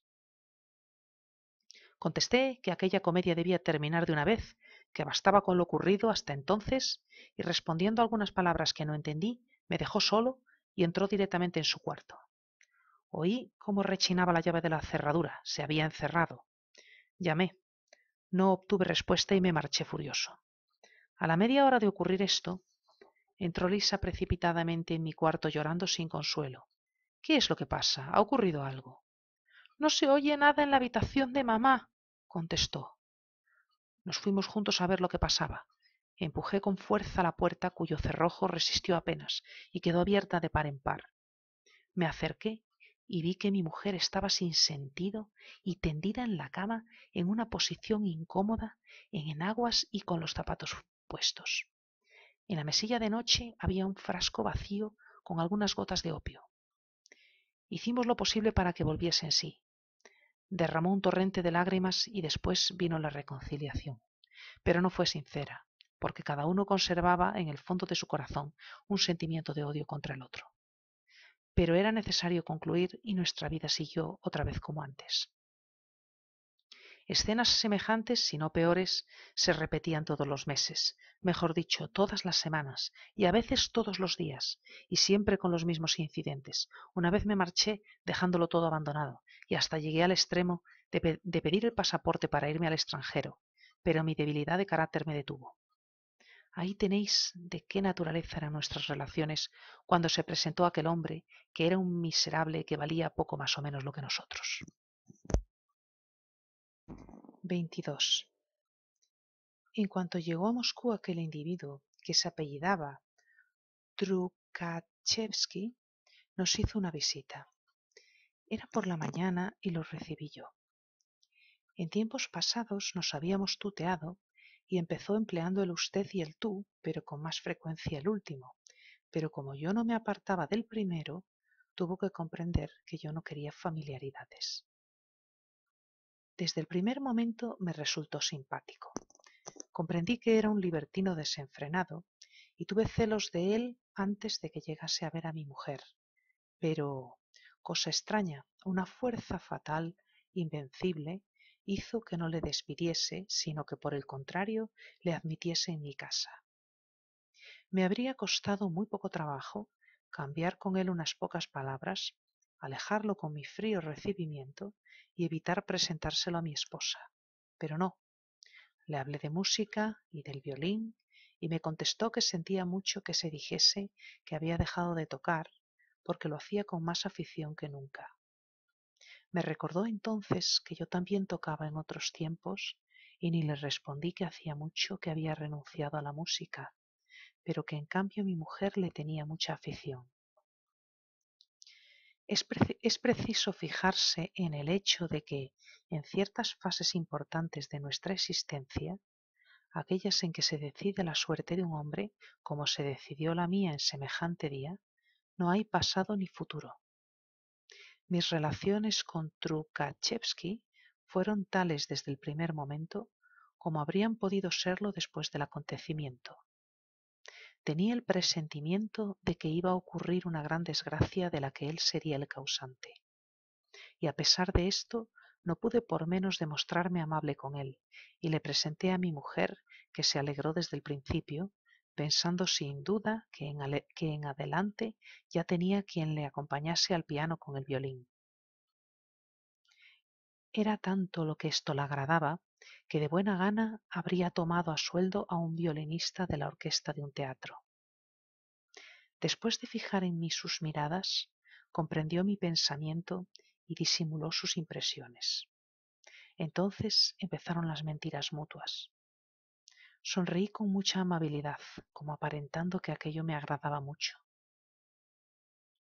Contempló a mi esposa como todos los calaveras miran a las mujeres hermosas, y fingió que nuestra conversación, que maldito interés que tenía para él, le agradaba mucho. Por su parte, mi mujer quiso aparentar la mayor indiferencia, pero estaba excitada por la malignidad de la mirada del violinista y por la expresión celosa que yo quería ocultar, haciendo grandes esfuerzos tras una sonrisa amable, pero que ella leía en mi rostro. Observé desde el primer momento que la mirada de mi mujer brillaba con un fulgor extraño y que mis celos provocaron en ella no sé qué corriente eléctrica que se comunicó a su sonrisa y a su mirada. En la primera entrevista se habló de París, de música, de mil cosas indiferentes. Luego se puso, se puso pie con el sombrero en la cadera, pavoneándose y como esperando alguna cosa. Recuerdo perfectamente lo que pasó en aquellos momentos, tanto más cuando que pude haber evitado que volviese. No tenía más que no invitarlo y no habría pasado nada. Miré primero a mi mujer, luego Trukachevsky y pensé, no vayas a figurarte, hermosa, que voy a dispensarte el honor de tener celos. Y le invité a que viniese aquella misma noche con su violín para acompañar al piano a mi mujer. Esta me dirigió una mirada de sorpresa, poniéndose encendida como dominada por un gran temor. Luego trató de excusarse, manifestando que no tocaba muy bien, y ese pretexto me excitó aún más. Recuerdo muy bien la sensación extraña que experimenté cuando le contemplé mientras se alejaba atravesando el salón con su pasito corto de bailarín con cuello blanco que hacía resaltar su cabello negro algo largo y rizado. No tengo para qué ocultar que la presencia de aquel hombre era una tortura para mí, y no dependía de nadie más que de mí el hacer que no volviese más, pero ¿tenerle miedo? Ah, no, sería demasiado humillante y al llegar al vestíbulo, sabiendo muy bien que mi mujer podía oír, le supliqué con muchas instancias que volviese aquella misma noche con el violín a fin de acompañar a mi mujer al piano. Me lo prometió y se marchó. Por la noche volvió con el violín, efectivamente, y tocaron, pero al principio el conjunto no resultó, porque no estaban al mismo tono y mi mujer no sabía bastante música para cogerlo a la primera. Como me gusta apasionadamente la música, me interesó mucho todo aquello. Les ayudé en lo que pude, y así pudieron tocar algunos trazos de romanzas sin palabras y una sonata corta de Mozart. En cuanto a él, debo confesar que tocaba de una manera admirable, uniendo la suavidad a una verdadera maestría. No había dificultades para él.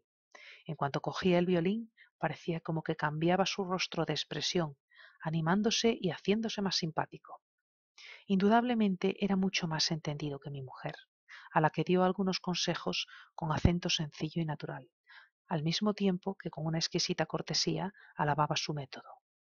Mi mujer parecía entregada completamente al placer de la música y su actitud era muy natural y encantadora. En cuanto a mí, durante la velada no hice más que fingir y caí en mi propio fingimiento, aparentando que no me interesaba nada más que la música, cuando en realidad me torturaban los celos. Desde el primer momento en el que se cruzaron sus miradas, comprendí el que comprendí el que no la contemplaba como a una mujer de aspecto desagradable, con la cual repugna entablar íntimas relaciones. Si mi alma hubiera sido pura, no habría escudriñado sus pensamientos, pero como yo obraba del mismo modo con las demás mujeres, comprendí lo que le pasaba, y al comprenderlo sufrí de una manera horrorosa. Lo que me hacía sufrir más era que yo tenía la seguridad de que mi mujer no tenía para mí más que un sentimiento de odio, interrumpido de vez en cuando por momentos de sensualidad. Aparte de esto, veía aquel hombre veía que aquel hombre debía de serle agradable por sus modales elegantes, por la novedad, su innegable talento musical, la mayor intimidad que imponían aquellos dúos y la impresión que produce la música, el violín sobre todo, en las naturalezas sensibles. No sólo le sería agradable, sino que además la debía subyugar sin ningún esfuerzo y hacer de ella lo que quisiese. No era posible cerrar los ojos ante esta evidencia, ni dejar de comprenderlo así, sufriendo y experimentando las horribles torturas de los celos. Sí, estaba celoso, y sufría de una manera tal que no era posible encontrar palabras para decirlo. Y sin embargo, quizá por esto, una fuerza invencible me obligaba a mostrarme cortés y hasta amable con aquel hombre. No sé si yo obraba de esa manera para darle a entender a mi esposa que no la tenía o para engañarme a mí mismo. Para ahogar los deseos que a veces experimentaba de matarle, me veía obligado a mostrarme muy atento con él. En la mesa le escanciaba el vino o el licor. Me mostraba asombrado de su método para tocar el violín y le hablaba de manera más amable del mundo. Luego le convidaba para que volviese el domingo siguiente, en el que invitaría a algunos amigos más, que eran también aficionados, a fin de que le oyesen, y luego se despedía de nosotros. A los dos o tres días de ocurrir esto, volví a mi casa en compañía de un amigo con el que iba charlando, y al entrar en el vestíbulo, sin acertar a explicarme el por qué, sentí como un gran peso en el corazón, como si me hubiese caído encima una gran piedra. Algo, no sé qué, me recordó a Truchakevsky. Hasta que estuve en mi cuarto no supe de qué se trataba, y volví al vestíbulo para ver si eran fundadas mis sospechas. Sí, allí estaba su abrigo, no me había equivocado. Sin quererlo yo mismo, era un observador muy ladino en cuanto se refería a aquel hombre. Averigüé que estaba allí, atravesé los cuartos de los niños y vi a Lisa que estaba hojeando un libro y a la nodriza que acallaba al más pequeño, al que tenía en brazos como un juguete cualquiera. En el salón oí unos arpegios muy lentos. Hablaban en voz baja y ella contestaba con una negativa. No, eso no. Y añadió algo que no pude entender. La música me impidió oír lo demás. Besos quizás, mientras tocaba con fuerza el piano. Gran Dios, qué sentimientos y qué pensamientos se apoderaron de mí. No puedo recordar sin terror el huracán que se desencadenó en mí en aquellos momentos. Se me oprimió el corazón, dejó de latir, y luego volvió a hacerlo con una fuerza extraordinaria. El sentimiento que me dominaba, lo mismo que en todas las horas de cólera, era el de una gran compasión hacia mí mismo. En presencia de los criados me dije, y en la de mis hijos me deshonra. Quería dar un escándalo, y no veía dónde ponía los pies. La nodriza me miró como si, comprendiendo lo que sucedía, quisiera aconsejarme que estuviese ojo a visor. Sin embargo, era necesario que entrara, y de una manera inconsciente abrí la puerta. Trukachevsky estaba sentado junto al piano y hacía arpegios con sus largos dedos, y mi mujer, en pie, a un lado, teniendo delante unos cuantos cuadernos de música. Fue la primera que me oyó o vio entrar y me dirigió una mirada. Se quedó o no sorprendida, o aparentó que no lo estaba. Lo que sí es cierto es que no se estremeció. Enrojeció un poco, pero fue después. Celebro mucho que hayas venido, porque nosotros solos no podemos decidir qué tocar el domingo, me dijo en un tono que no era el natural ni el que usaba en nuestras conversaciones a solas. Ese tono y ese nosotros me indignaron. Le saludé con mucha frialdad y me estrechó la mano de una manera que me pareció burlona. Y enseguida me explicó que había llevado unas cuantas piezas de música a fin de ensayar para el domingo, pero que no estaban de acuerdo en la elección escogerían una sonata de Beethoven, alguna obra clásica y un tanto difícil, o bien alguna otra cosa de una ejecución mucho más fácil. Y al decir esto, la consultó con la mirada. Todo esto era tan natural que no pude en realidad incomodarme. Lo veía, lo comprendí. Sin embargo, aquello no era más que hipocresía, y estaban de acuerdo en la manera de engañarme. El tormento más grande que puede sufrir un celoso, ¿y quién no ha tenido celos en este mundo?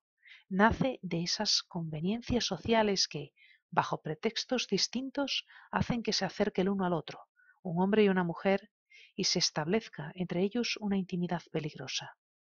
Uno se convertiría en motivo de irrisión para todos si, tratase de oponerse a esas aproximaciones que producen los bailes, las visitas de los médicos a los enfermos, de los artistas entre sí, de los pintores y sobre todo de los músicos. Dos personas son aficionadas a la música, la más noble de todas las artes. Se ponen de acuerdo para tocar juntos y esto exige naturalmente una intimidad que solo parecerá vituperable a los ojos de un celoso estúpido. Un marido bien educado no puede ni debe tener esos pensamientos y sobre todo no tiene para qué mezclarse en esos asuntos. Y no obstante, todo el mundo sabe que de ocupaciones de esa naturaleza, de la música sobre todo, es de las que nace nuestra sociedad la mayor parte de los adulterios. Mi silencio, que duró algunos minutos, les molestó indudablemente. Me parecía a una botella vuelta del revés de la que el agua no se escapa porque está demasiado llena. Quería arrojarle a la cara alguna frase ofensiva, echarle de allí, pero no hice nada. Al contrario, me sentí culpable por haberlos estorbado. Fingí que lo aprobaba todo y ese resentimiento que me dominaba me llevó hasta el extremo de mostrarme muy amable con él, a pesar del martirio que me causaba su presencia. Le contesté que nadie mejor que él para elegir y que mi mujer, si quería seguir mi consejo, obraría de la misma manera. Permaneció allí el tiempo necesario para borrar la mala impresión que causó mi llegada brusca y mi rostro trastornado. Luego se marchó muy satisfecho, al parecer, con las decisiones tomadas para el día siguiente. En cuanto a mí, tenía la convicción de que todo lo que se refería a la música estaba subordinado a otras preocupaciones que les atormentaban. Le acompañé hasta el vestíbulo dando muestras de gran cortesía. ¿Cómo puede dejarse de acompañar a un hombre que se presenta en vuestra casa para turbar la paz de la familia y aniquilarla para siempre? Y estreché con afectuosa amabilidad su mano blanca y bien cuidada. 22. Durante el resto del día no dirigí la palabra a mi mujer. No pude hacerlo. Y su permanencia a mi lado provocaba en mí un odio tal que tenía miedo de mí mismo. En la mesa y en presencia de mis hijos me preguntó cuándo deseaba emprender mi próximo viaje. Efectivamente, la semana siguiente tenía que ir a Zemstvo o Asamblea General. Le contesté y me preguntó qué era lo que necesitaba para el camino. No le contesté entonces ni una palabra y en silencio me retiré a mi despacho. Por lo general no acostumbraba a estar en él, sobre todo a aquellas horas. De pronto oí que se acercaba alguien y reconocí su paso. Un pensamiento terrible, innoble, se apoderó de mi alma. ¿Iba a verme a aquellas horas para ocultar, como la mujer de Urías, una falta ya cometida? ¿Iría realmente a mi cuarto? y los pasos se acercaban cada vez, cada vez más. Pero, si se presentaba, ¿tendría yo razón? Se apoderó de mí un sentimiento de odio. Los pasos se iban acercando. Se acercaba cada vez más. ¿Pasaría por allí para ir al salón? No. La puerta rechinó sobre sus goznes y se presentó ella, con su estatura bien proporcionada, su talle esbelto y su aspecto gracioso, agradable. En los rasgos todos de su rostro así como en su mirada, se observaba una timidez, una expresión insinuante que quería disimular, pero que saltaba a los ojos y cuyo alcance comprendía enseguida. Me faltaba poco para ahogarme, de tal manera contuve la respiración y sin dejar de mirarla tomé un cigarrillo y lo encendí. ¿Qué significa esto? ¿Vengo a hablarte y enciendes un cigarrillo? dijo sentándose a mi lado y apoyando la cabeza en mi hombro y yo me retiré para no tocarla. Ya veo que te gustaría más que yo no tocase el domingo, añadió. Pues estás equivocada, contesté. ¿Te has figurado que no lo he comprendido? Si lo comprendes, te felicito. Lo que estoy yo viendo es que te portas como una mujer de poco más o menos. Si has de empezar a hablar de esa manera, me marcho. Está bien, márchate, pero ten presente que si el honor de la familia no es nada para ti, para mí es algo sagrado. Ahora vete, vete al diablo. Pero, ¿qué es lo que hay? ¿Qué pasa? Vete. Te lo pido por amor de Dios, márchate. No se marchó. Fingiendo no comprenderme o realmente no entendiéndome, lo cierto es que estaba ofendida y que se incomodó. Te estás volviendo insoportable, me dijo. Ha de llegar un día en que ni un ángel pueda vivir a tu lado y deseando por lo visto molestarme todo lo posible, añadió a continuación Después de tu conducta para con mi hermana, no me extrañará nada de cuanto puedas hacer conmigo. Con estas palabras aludía a una disputa que había tenido yo con su hermana, durante la cual perdí los estribos y le dije algunas groserías. Sabía que ese recuerdo me molestaba y procuró reavivar el dolor de la llaga.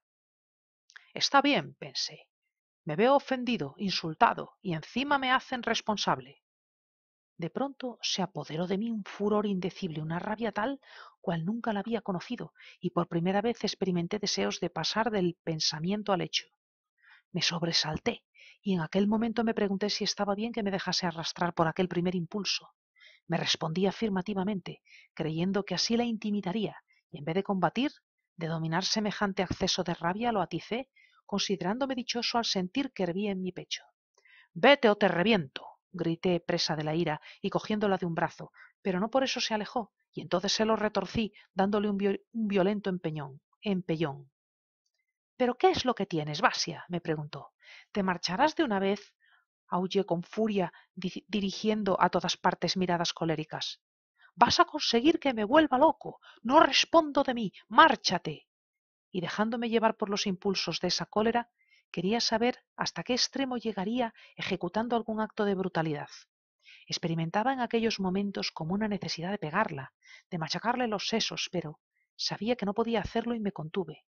Acercándome precipitadamente a mi mesa, cogí un pisapapeles y lo estallé en el suelo a sus pies, pero antes de tirarlo puse buen cuidado de que ella pudiese esquivarlo.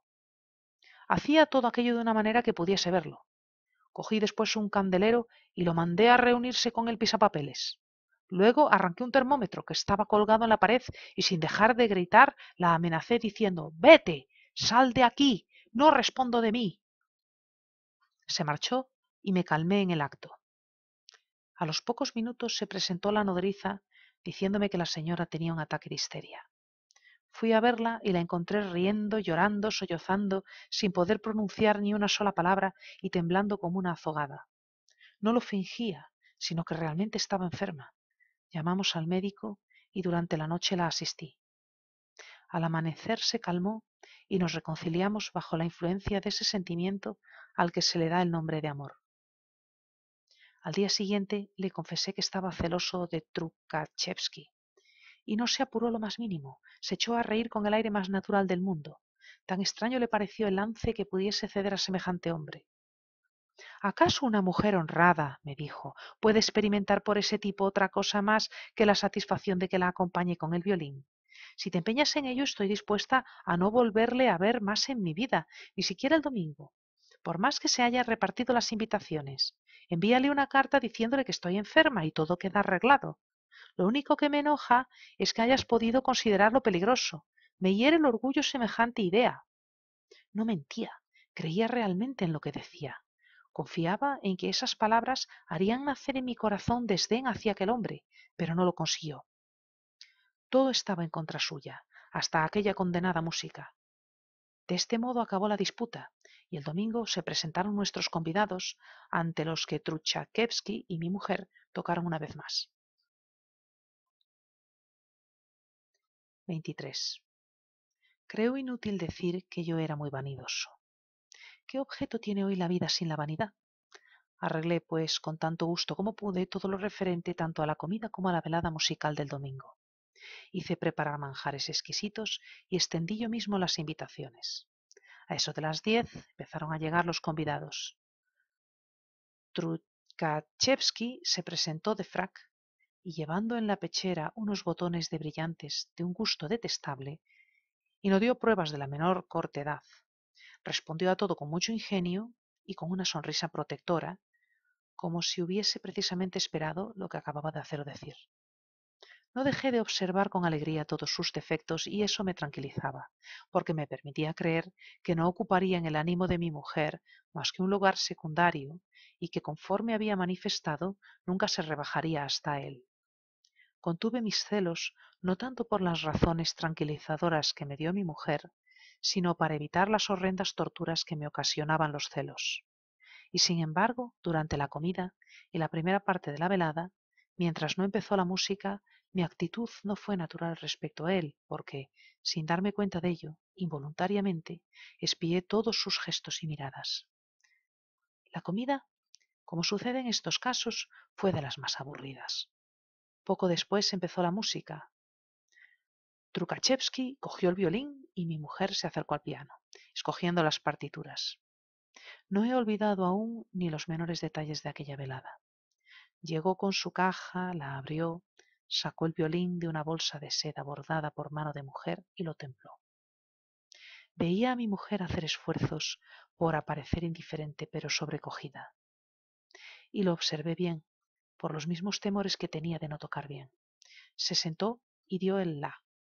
Oigo aún los pizzicatos del violín. Les veo disponer los papeles de la música, dirigir una mirada a los concurrentes, decirse algunas palabras y empezar. Empezaron al mismo tiempo y tocaron la sonata Kreutzer de Beethoven. ¿Conoce su primer presto? ¿Lo conoce? ¡Oh! ¡Oh! Al llegar a ese punto, Podnichev exhaló un profundo suspiro y se quedó callado durante largo tiempo. Qué cosa más espantosa esa sonata. Y ese presto es la parte más terrible. Sin embargo, toda la música es espantosa. ¿Qué es pues la música? ¿Por qué produce esos efectos? Se dice, se dice que eleva el alma conmoviéndola. Qué estupidez, qué embuste.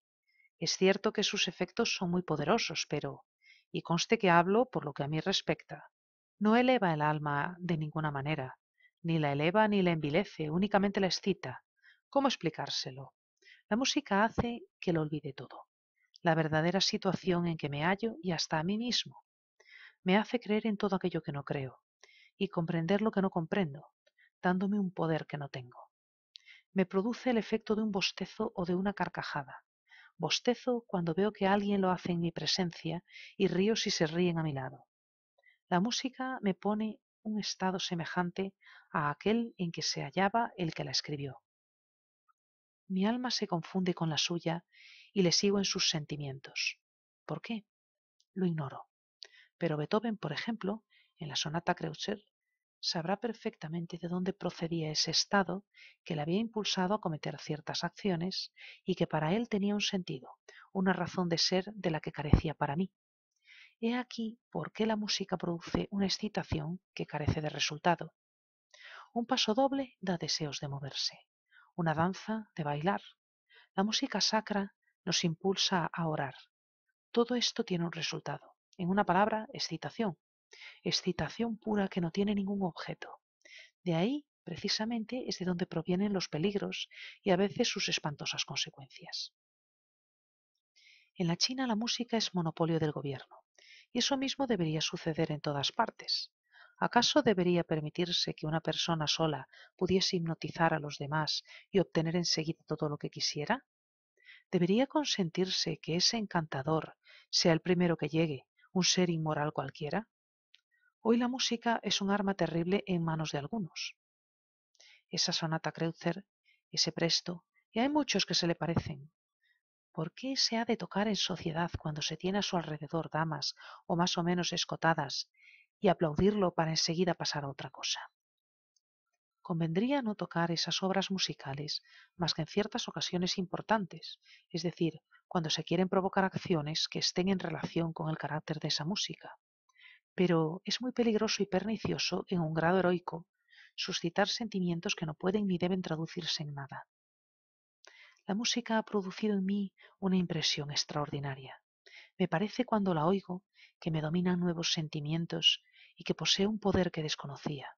Sí, esto es así, y no como he visto y oído hasta ahora, sí, así, me decía una voz desconocida en el fondo de mi alma. Sin darme cuenta de ese nuevo estado de mi alma que se revelaba en mí, me sentía muy satisfecho. En ese estado no cabían los celos, y veía a los hombres bajo otro aspecto, pues la música me transportaba a un mundo en el que los celos no se conocían. Los celos, con todo su acompañamiento, me parecía que eran otras tantas probabilidades que no merecen el trabajo de preocuparse por ellos. Después del presto pasamos al andante, que es bello, pero de estilo antiguo, con algunas frívolas variaciones hasta llegar al final que es más flojo. Luego, a petición de algunos invitados, tocaron una elegía a Ernest y varias otras piezas notables, sí, pero que no produjeron ni la centésima parte de la impresión producida por la primera. Durante toda la noche estuve muy alegre y satisfecho. En cuanto a mi mujer, nunca la había visto de aquel modo, con la mirada brillante, una notable expresión de dignidad mientras tocaba, y después una sonrisa dulce, conmovedora e impregnada de felicidad. Vi todo eso sin darle gran importancia, persuadido de que, tal como me había sucedido a mí, habían germinado en su alma sentimientos desconocidos hasta entonces. Durante la velada apenas sentí el corrosivo tormento de los celos. Dos días después debía emprender el viaje para ir a la asamblea de Zensbo, y en el momento en el que Trukaczewski recogía sus papeles de música para marcharse, me preguntó cuándo pensaba regresar de mi viaje porque, según me dijo, quería despedirse de nosotros antes de marcharse de Moscú. Deduje que se daba cuenta de la imposibilidad de visitar mi casa mientras yo estuviese fuera, lo cual me contentó. Su salida de Moscú debía verificarse antes de mi regreso, por lo que no, no pondría por lo que no podríamos volver a vernos y nos despediríamos definitivamente. Por primera vez le estreché la mano con verdadera alegría, dándole las gracias por las distracciones que nos había proporcionado. Se despidió también de mi mujer, cuyos modales me parecieron muy sencillos y naturales. Todo marchaba a pedir de boca, y tanto mi mujer como yo estábamos muy satisfechos con el resultado de nuestra reunión, y hablábamos en términos generales de las impresiones que nos había producido la música. Nos sentimos, lo que hacía muchísimo tiempo que no nos sucedía, atraídos el uno hacia el otro y nos dimos pruebas de recíproca amabilidad. 24. Dos días después emprendí el viaje a fin de presentarme en la asamblea, y al separarme de mi mujer me hallaba en las mejores disposiciones de espíritu, y encontré el distrito muy animado, lleno de comerciantes que llevaban una vida muy distinta de la nuestra. Dos días seguidos celebramos sesiones que duraron diez horas, y el segundo día, al retirarme a mi alojamiento, me entregaron una carta de mi mujer. Me hablaba de los niños, del tío de la nodriza, de compras, y entre otras cosas, y de la manera más natural del mundo, de una visita de Truchakevsky que le había llevado las obras musicales que le había prometido, al tiempo que le proponía que tocase con él, a lo que se negó. No recordaba que el violinista hubiese prometido semejantes obras, y me parecía por el contrario que se despedía definitivamente, por lo que esto me sorprendió de una forma desagradable. Volví a leer la carta y me pareció encontrar en ella algo como tímido, forzado. Confieso que la lectura de la carta me produjo una penosa impresión. Los celos rugieron en mí como una fiera en su guarida pronta a saltar. Tuve, sin embargo, miedo y me contuve. ¿Qué sentimiento más abominable es el de los celos? ¿Podía haber cosa más natural que lo que me escribía mi esposa? me dije, y me acosté muy tranquilo, al menos en apariencia. Me puse a reflexionar sobre los asuntos del día siguiente y me, quedé dormido sin acordarme de ella. Por lo general, mientras duraban las asambleas, me costaba mucho trabajo conciliar el sueño, y aquella noche me quedé dormido enseguida. Pero, y esto es muy frecuente, una súbita conmoción me desveló. Al despertar, mi primer pensamiento fue para ella, para el amor sensual que me inspiraba, y me acordé también del violinista, diciéndome que obraban de acuerdo. La rabia y el miedo se apoderaron otra vez de mí e intenté calmarme. Me dije que aquello era una locura, ya que no había motivos para tener celos. No había nada, nada entre ellos. ¿Para qué envilecernos así? Yo sobre todo haciendo suposiciones semejantes. De un lado, un violinista pagado que tenía, era cierto, fama de don Juan, y del otro una mujer honrada, respetable, mi mujer. Aquello era simplemente absurdo. No obstante, seguía repitiéndome. ¿Por qué había de ser imposible algo semejante? ¿Por qué? ¿No mediaba allí el mismo sentimiento que me impulsó a casarme con ella? ¿La misma y la única cosa que yo quería de ella y que otros deseaban también, lo mismo que el músico? Era soltero, robusto, le había visto partir el hueso de una chuleta con los dientes, y cómo humedecía ávidamente en el vino sus labios rojos. Bien alimentado y bien educado, Si profesaba efectivamente algún principio, era el de divertirse todo lo posible. La música, ese refinado excitante de la voluptuosidad, era el lazo que los unía. ¿Qué era lo que los contendría? Nada. Todo servía para atraerlos el uno hacia el otro. ¿Y ella? Ella seguía siendo, como siempre, un enigma viviente que continuaba siendo indescifrable para mí. No conocía de ella más que su naturaleza animal, y un animal ni debe ni puede ser contenido, ni se contiene tampoco. Recordé entonces la expresión de sus rostros cuando después de tocar la sonata Kreutzer tocaron un fragmento musical, no sé de quién, que era excesivamente sensual. ¿Cómo había podido irme de viaje? me dije, acordándome de aquella expresión. ¿No estaba muy claro que se habían puesto de acuerdo aquella misma noche? ¿No aparecía con toda claridad que en adelante nada les separaba y que lo que había sucedido los puso a ambos, sobre todo a ella, en cierto apuro? Me parecía que la veía con su sonrisa dulce y venturosa, enjuagándose el rostro coloreado y bañado en sudor. Sus miradas se esquivaban, y sólo fue durante la cena y en el momento en el que él le sirvió un vaso de agua cuando cambiaron una mirada y una imperceptible sonrisa. Recordaba con terror la expresión de esa mirada y de esa sonrisa apenas perceptibles. Es cosa hecha, me decía una voz, mientras que otra voz contestaba. Es una idea fija, una obsesión, algo imposible. Me apenaba la oscuridad y encendí la luz, y al ver aquella habitación tan reducida, con sus cortinajes amarillos, se apoderó de mí una gran tristeza. Encendí un cigarrillo y tal como sucede siempre que uno se arma un lío de ideas y de contradicciones, fumé cigarrillo tras cigarrillo para aturdirme y ocultarme esas contradicciones. No pude volver a quedarme dormido en toda la noche, y a eso de las cinco de la mañana, cuando aún no había amanecido, resolví, para no continuar sufriendo tantas incertidumbres, marcharme lo más pronto posible. La hora de emprender el viaje era a las ocho. Desperté al portero, le encargué que pidiera un coche y envié una carta a la asamblea manifestando que tenía que regresar a Moscú para despachar un asunto urgente y que nombrasen en mi lugar a uno de los suplentes. A las ocho tomaba asiento en el coche y emprendí el viaje. 25. Tenía que recorrer 35 verstas en coche y 8, horas en tren. El viaje en coche fue delicioso. Estábamos en otoño y hacía un tiempo precioso, aunque frío.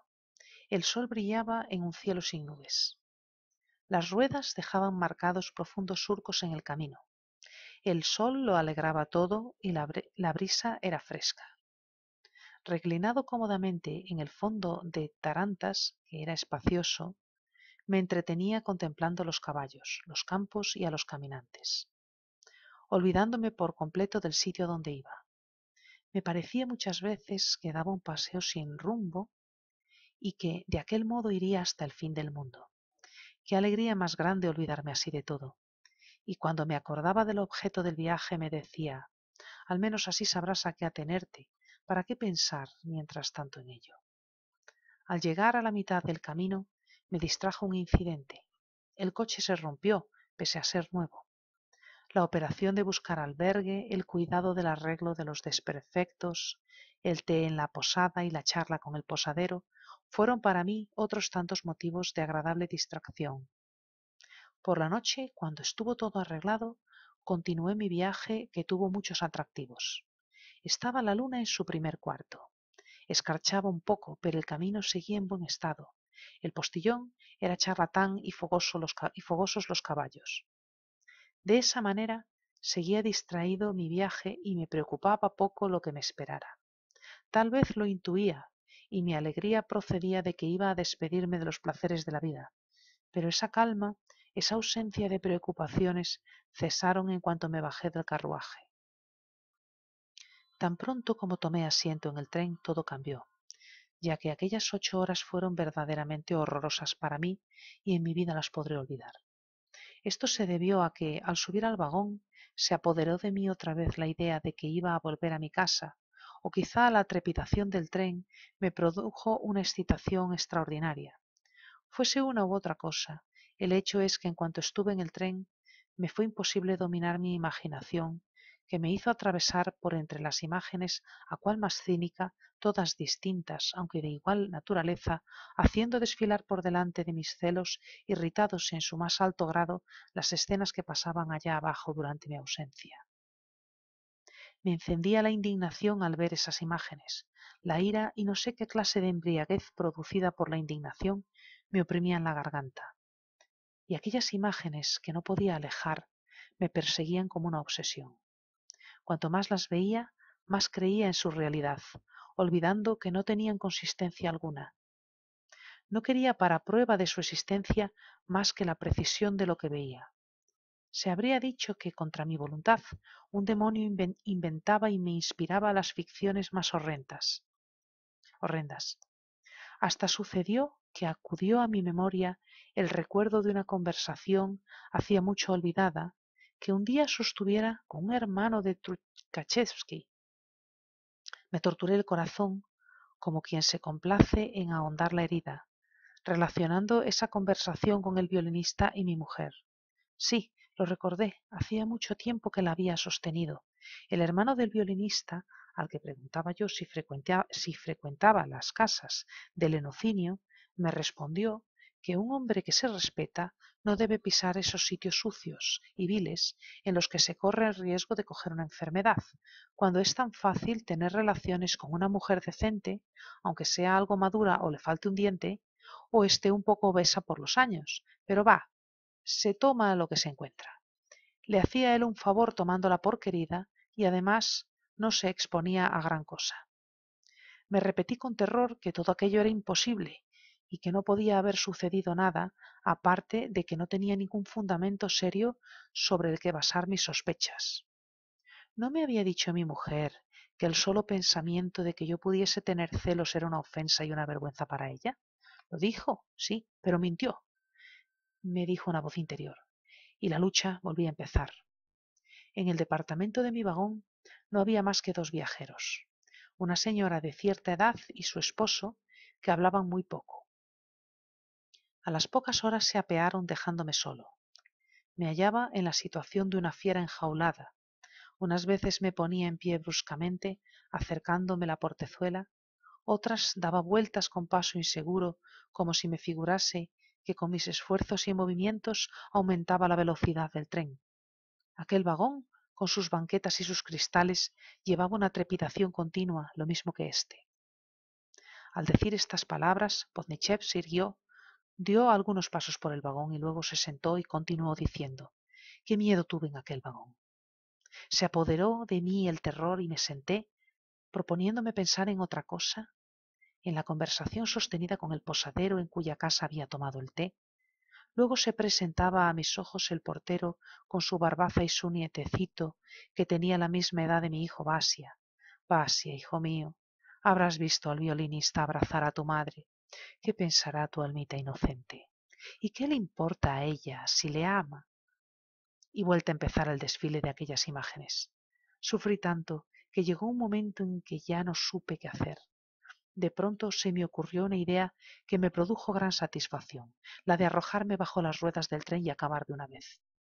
Una cosa sola fue la que detuvo la ejecución de mi plan y fue la lástima que yo mismo me inspiraba, lástima que hizo nacer en mí un odio irreconciliable, hacia ellos dos, contra ella sobre todo.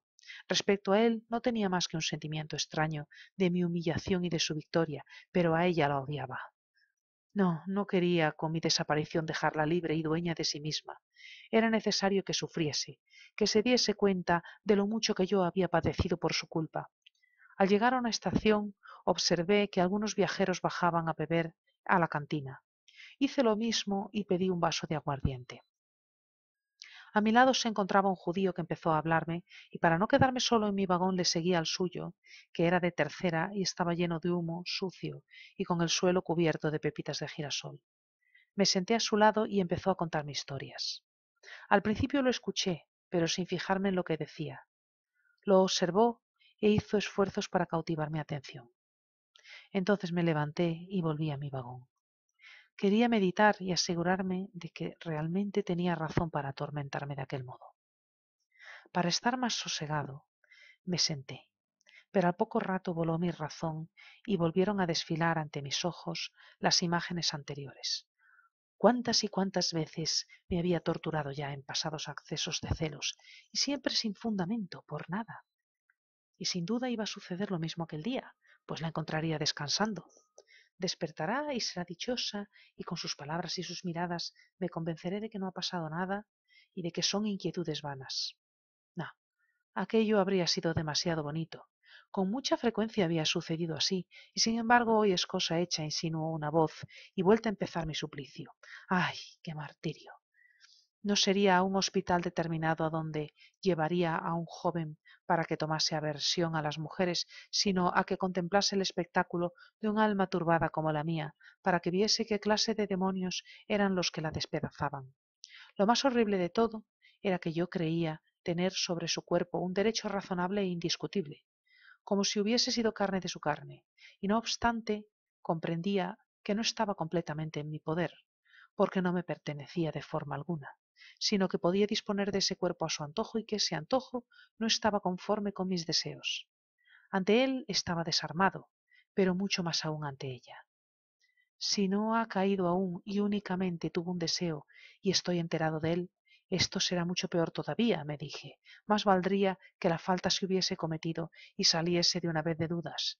No acertaba a formular lo que deseaba. Habría deseado que ella no quisiese lo que forzosamente debía de apetecer, y todo era sencillamente una locura. 26. En la penúltima estación, cuando el revisor pasó pidiendo los billetes, recogiendo mi equipaje, salí a la plataforma del vagón. Al acercarse el desenlace aumentaba mi fiebre. Tenía frío, me temblaba todo el cuerpo y entrechocaban mis dientes. De una manera maquinal salí de la estación con los demás viajeros y tomé un coche para ir a mi casa. Por el camino me fijé en los contados transeúntes con los que me crucé y leí las muestras de las heridas sin fijarme en lo que hacía. Después de recorrer un buen trayecto, sentí de pronto un frío muy vivo en los pies y me acordé de que me había quitado en el vagón los escarpines de lana que llevaba sobre los calcetines y que los había metido en el maletín. ¿Lo había dejado allí? Sí. ¿Y el resto del equipaje? No me había acordado tampoco de él. Saqué el billete y el talón y de pronto se me ocurrió que no valía la pena volver atrás. Todavía no sé en estos momentos por qué tenía entonces tanta prisa. Lo único que sé es que comprendía que se preparaba en mí algo terrible, un acontecimiento que tenía una importancia capital, pero no recuerdo si era víctima de mi imaginación o si exageraba la gravedad de lo que iba a suceder. Quizá tan trágico acontecimiento arrojó un lúgubre velo sobre las horas que le precedieron. El carruaje se detuvo fuera de la puerta del patio entre las doce y la una. Ante la puerta del coche se habían detenido algunos coches de punto a cuyos conductores atrajeron las ventanas iluminadas de la casa, que eran las correspondientes al salón y al comedor. Sin tratar de averiguar por qué las ventanas de mi casa estaban iluminadas a una hora tan avanzada, y experimentando siempre las más vivas angustias que me oprimían, subí la escalera y llamé. Acudió a abrirme Igor, un criado muy fiel y animoso, pero muy corto de entendimiento. La primera cosa que me llamó la atención fue un abrigo colgado en el perchero al lado de los otros. Aquello me tendría que haber sorprendido, pero no fue así, porque lo esperaba. Ea, pues cierto. ¿Quién está aquí, Igor? pregunté. El señor Trukachevsky.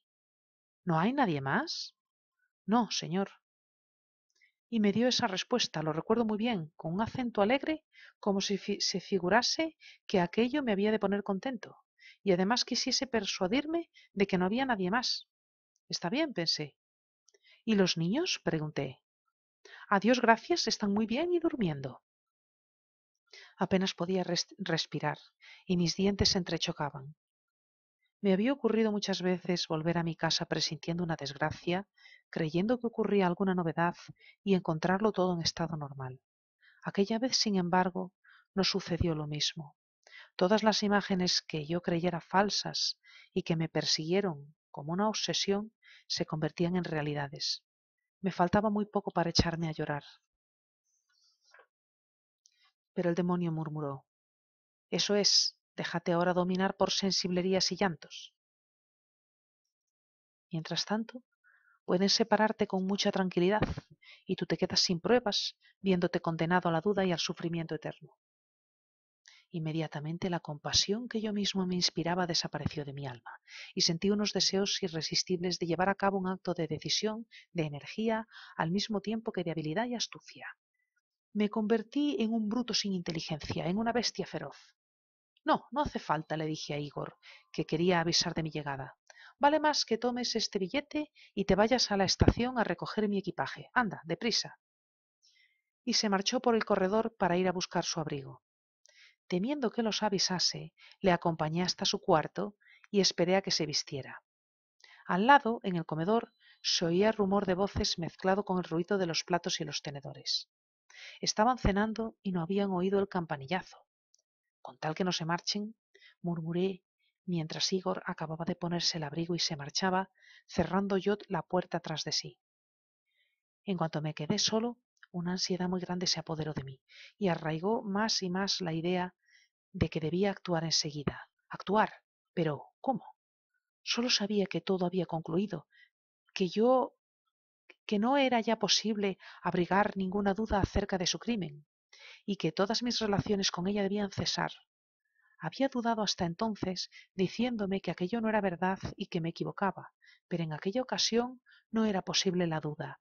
Debía tomar una resolución, pero ¿cuál? Encontrarse en secreto durante la noche y a solas con él.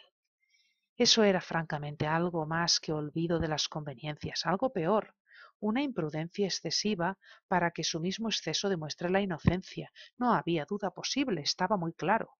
Tenía un temor muy grande, y era el de que se separasen y encontrasen un medio para salir del paso, privándome así de la única prueba palpable que me hubiese quitado el doloroso placer de condenarlos y castigarlos.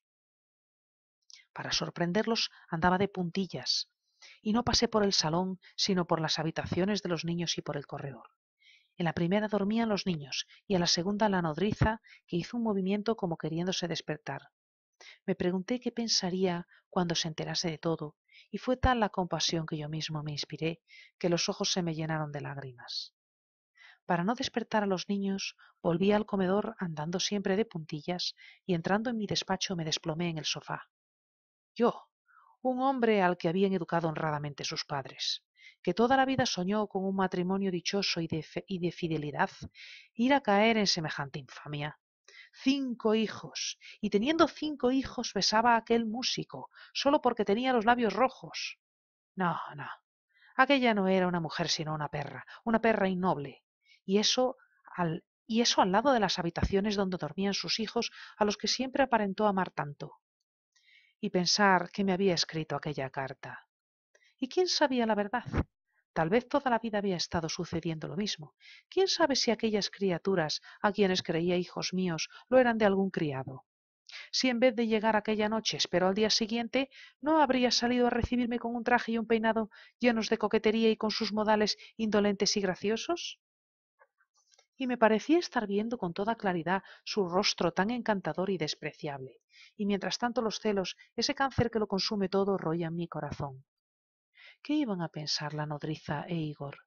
Y la pobrecita Lisa ya tenía edad para comprenderlo. Y me horrorizaba aquella imprudencia, aquellos embustes y aquella sensualidad bestial que conocía tan a fondo. Quise ponerme en pie y no pude. Los latidos de mi corazón eran tan violentos que mis piernas se negaban a sostenerme. Sí, moriría de una congestión. Ella sería la que me habría matado. Y tal vez era eso lo que deseaba. Pero no estaba dispuesto a morir de esa manera, no tendría esa suerte, no sería yo quien le proporcionase esa alegría. Heme yo aquí y ellos allí, riendo, sí. No la desdeñó él porque era ya una mujer de más edad, ya madura, le parecía aún aceptable, e indudablemente no ejercerá ninguna influencia funesta sobre su preciosa salud. Ah, ¿por qué no la estrangulé aquel día una semana antes cuando la eché de mi despacho? Recuerdo muy bien cuánto pensé y dije entonces. No olvidé los sentimientos que me agitaban anteriormente, y se apoderó de mí el mismo furor. Sentía irresistibles deseos de hacer algo. Todos mis razonamientos desaparecieron, a excepción de aquellos que contribuían a llevarse adelante mi propósito. Me hallaba en situación idéntica a la de una fiera acorralada en la misma de un hombre expuesto a un peligro grave que sigue marchando hacia adelante, obrando sin vacilación y sin turbarse y sin apartar la mirada del objetivo que, que se propone conseguir. Me quité las botas y los calcetines, me acerqué a la panoplia que estaba colocada encima del sofá y de ella descolgué un puñal de damasco de aguda y afilada hoja, virgen aún de sangre. Lo saqué de la vaina y recuerdo aún que ésta, me acuerdo como si fuera ayer, cayó detrás del sofá y me dije que más adelante la recogería. Me quité después el abrigo que tenía aún puesto y andando descalzo y con mucho tiento salí del despacho. Aún no sé hoy en día cómo salí, si iba muy apresurado o despacio, ni cuáles fueron las habitaciones que, que atravesé, ni de qué manera llegué al comedor, ni cómo abrí la puerta, ni de qué manera entré.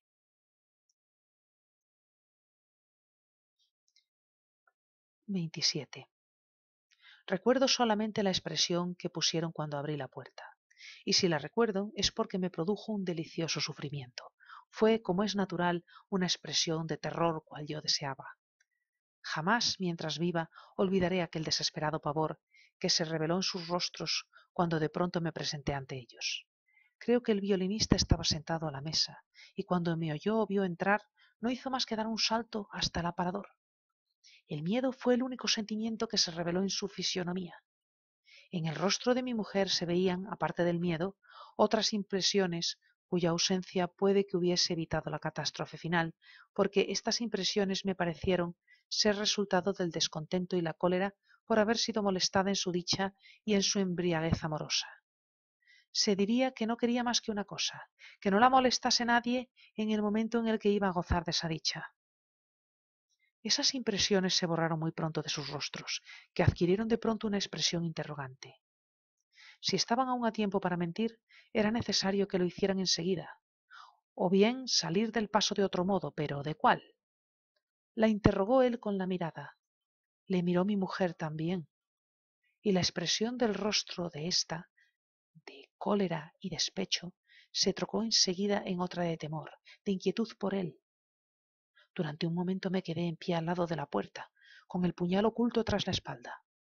De pronto, y con un tono de indiferencia, por demás ridícula en aquellos momentos, dijo el violinista. Acabamos de tocar un poco.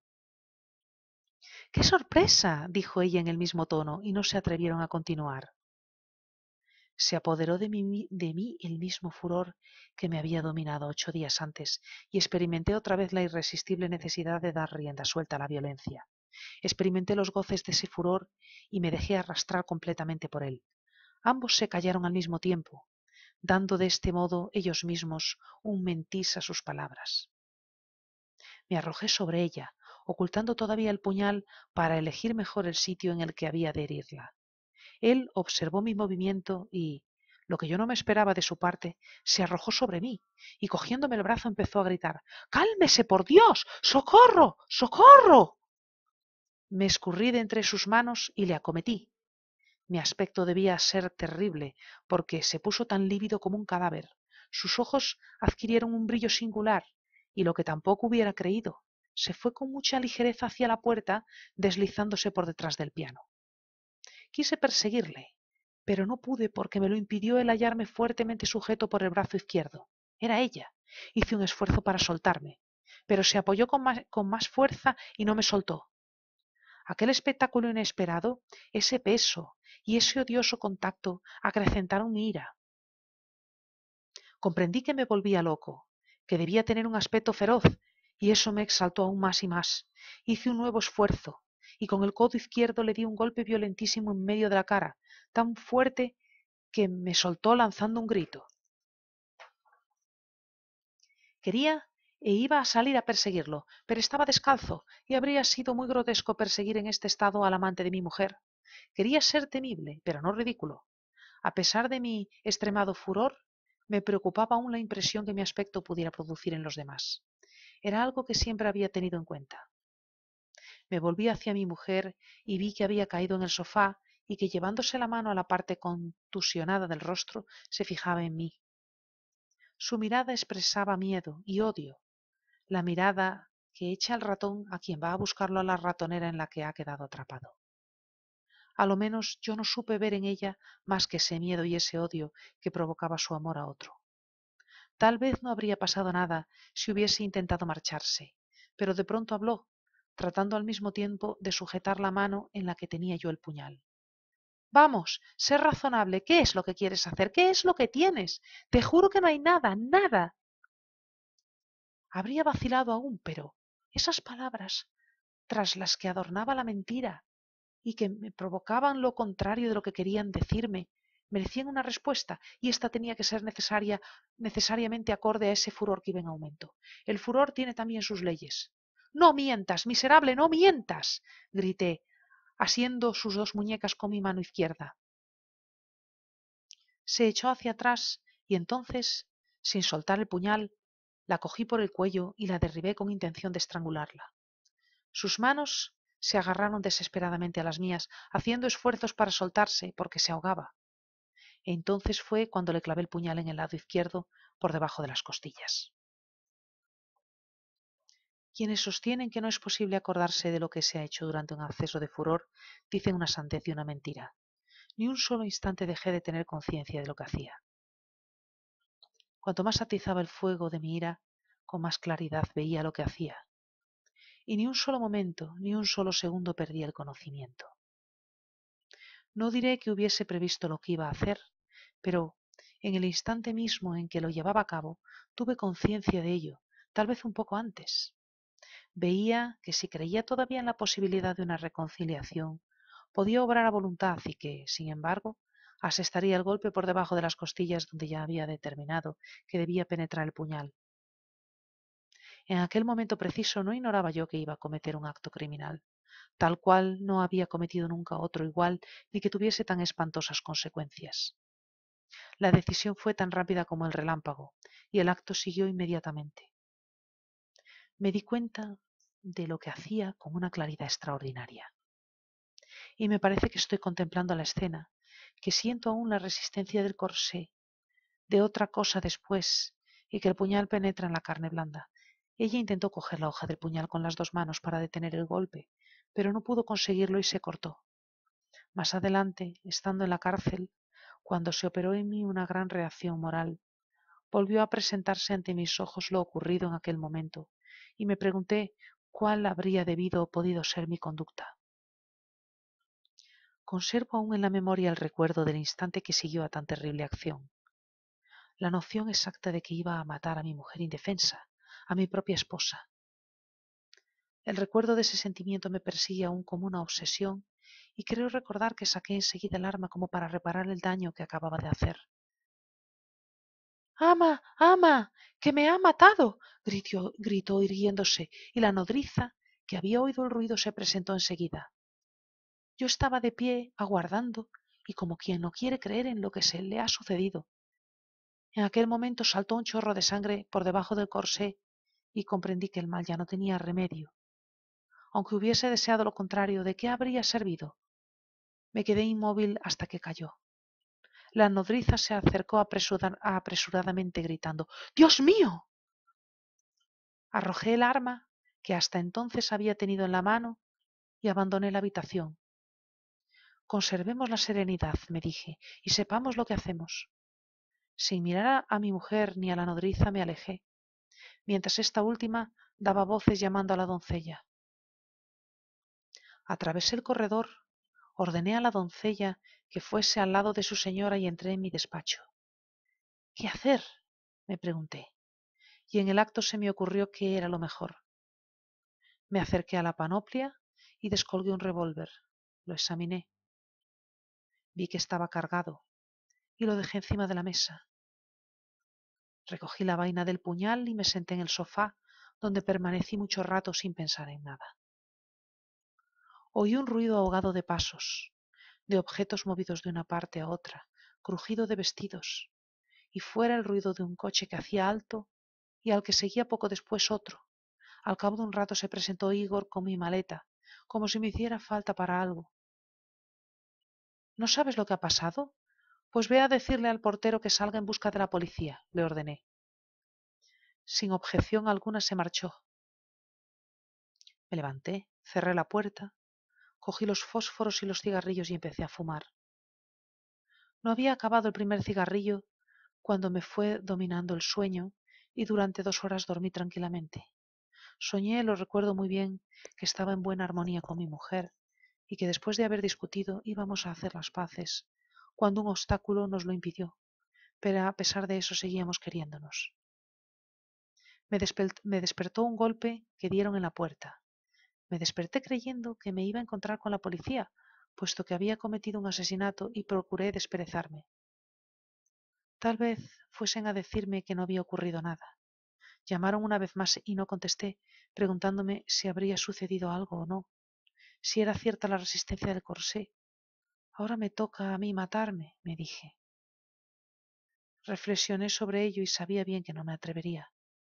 No obstante, me levanté y cogí el revólver. Cosa extraña. Me había pasado muchas veces por la cabeza la idea del suicidio, en el tren sobre todo, porque creía que así sería más rudo golpe para mi mujer. Pero la sazón no era capaz de matarme, y hasta rechacé la idea. ¿Y por qué no había de hacerlo? me pregunté. Y no hallé la respuesta. Llamaron otra vez. Veamos antes lo que sucede. Tiempo quedará luego para todo. Me dije dejando el revólver sobre la mesa y colocando encima un periódico para ocultarlo. Me acerqué a la puerta y abrí.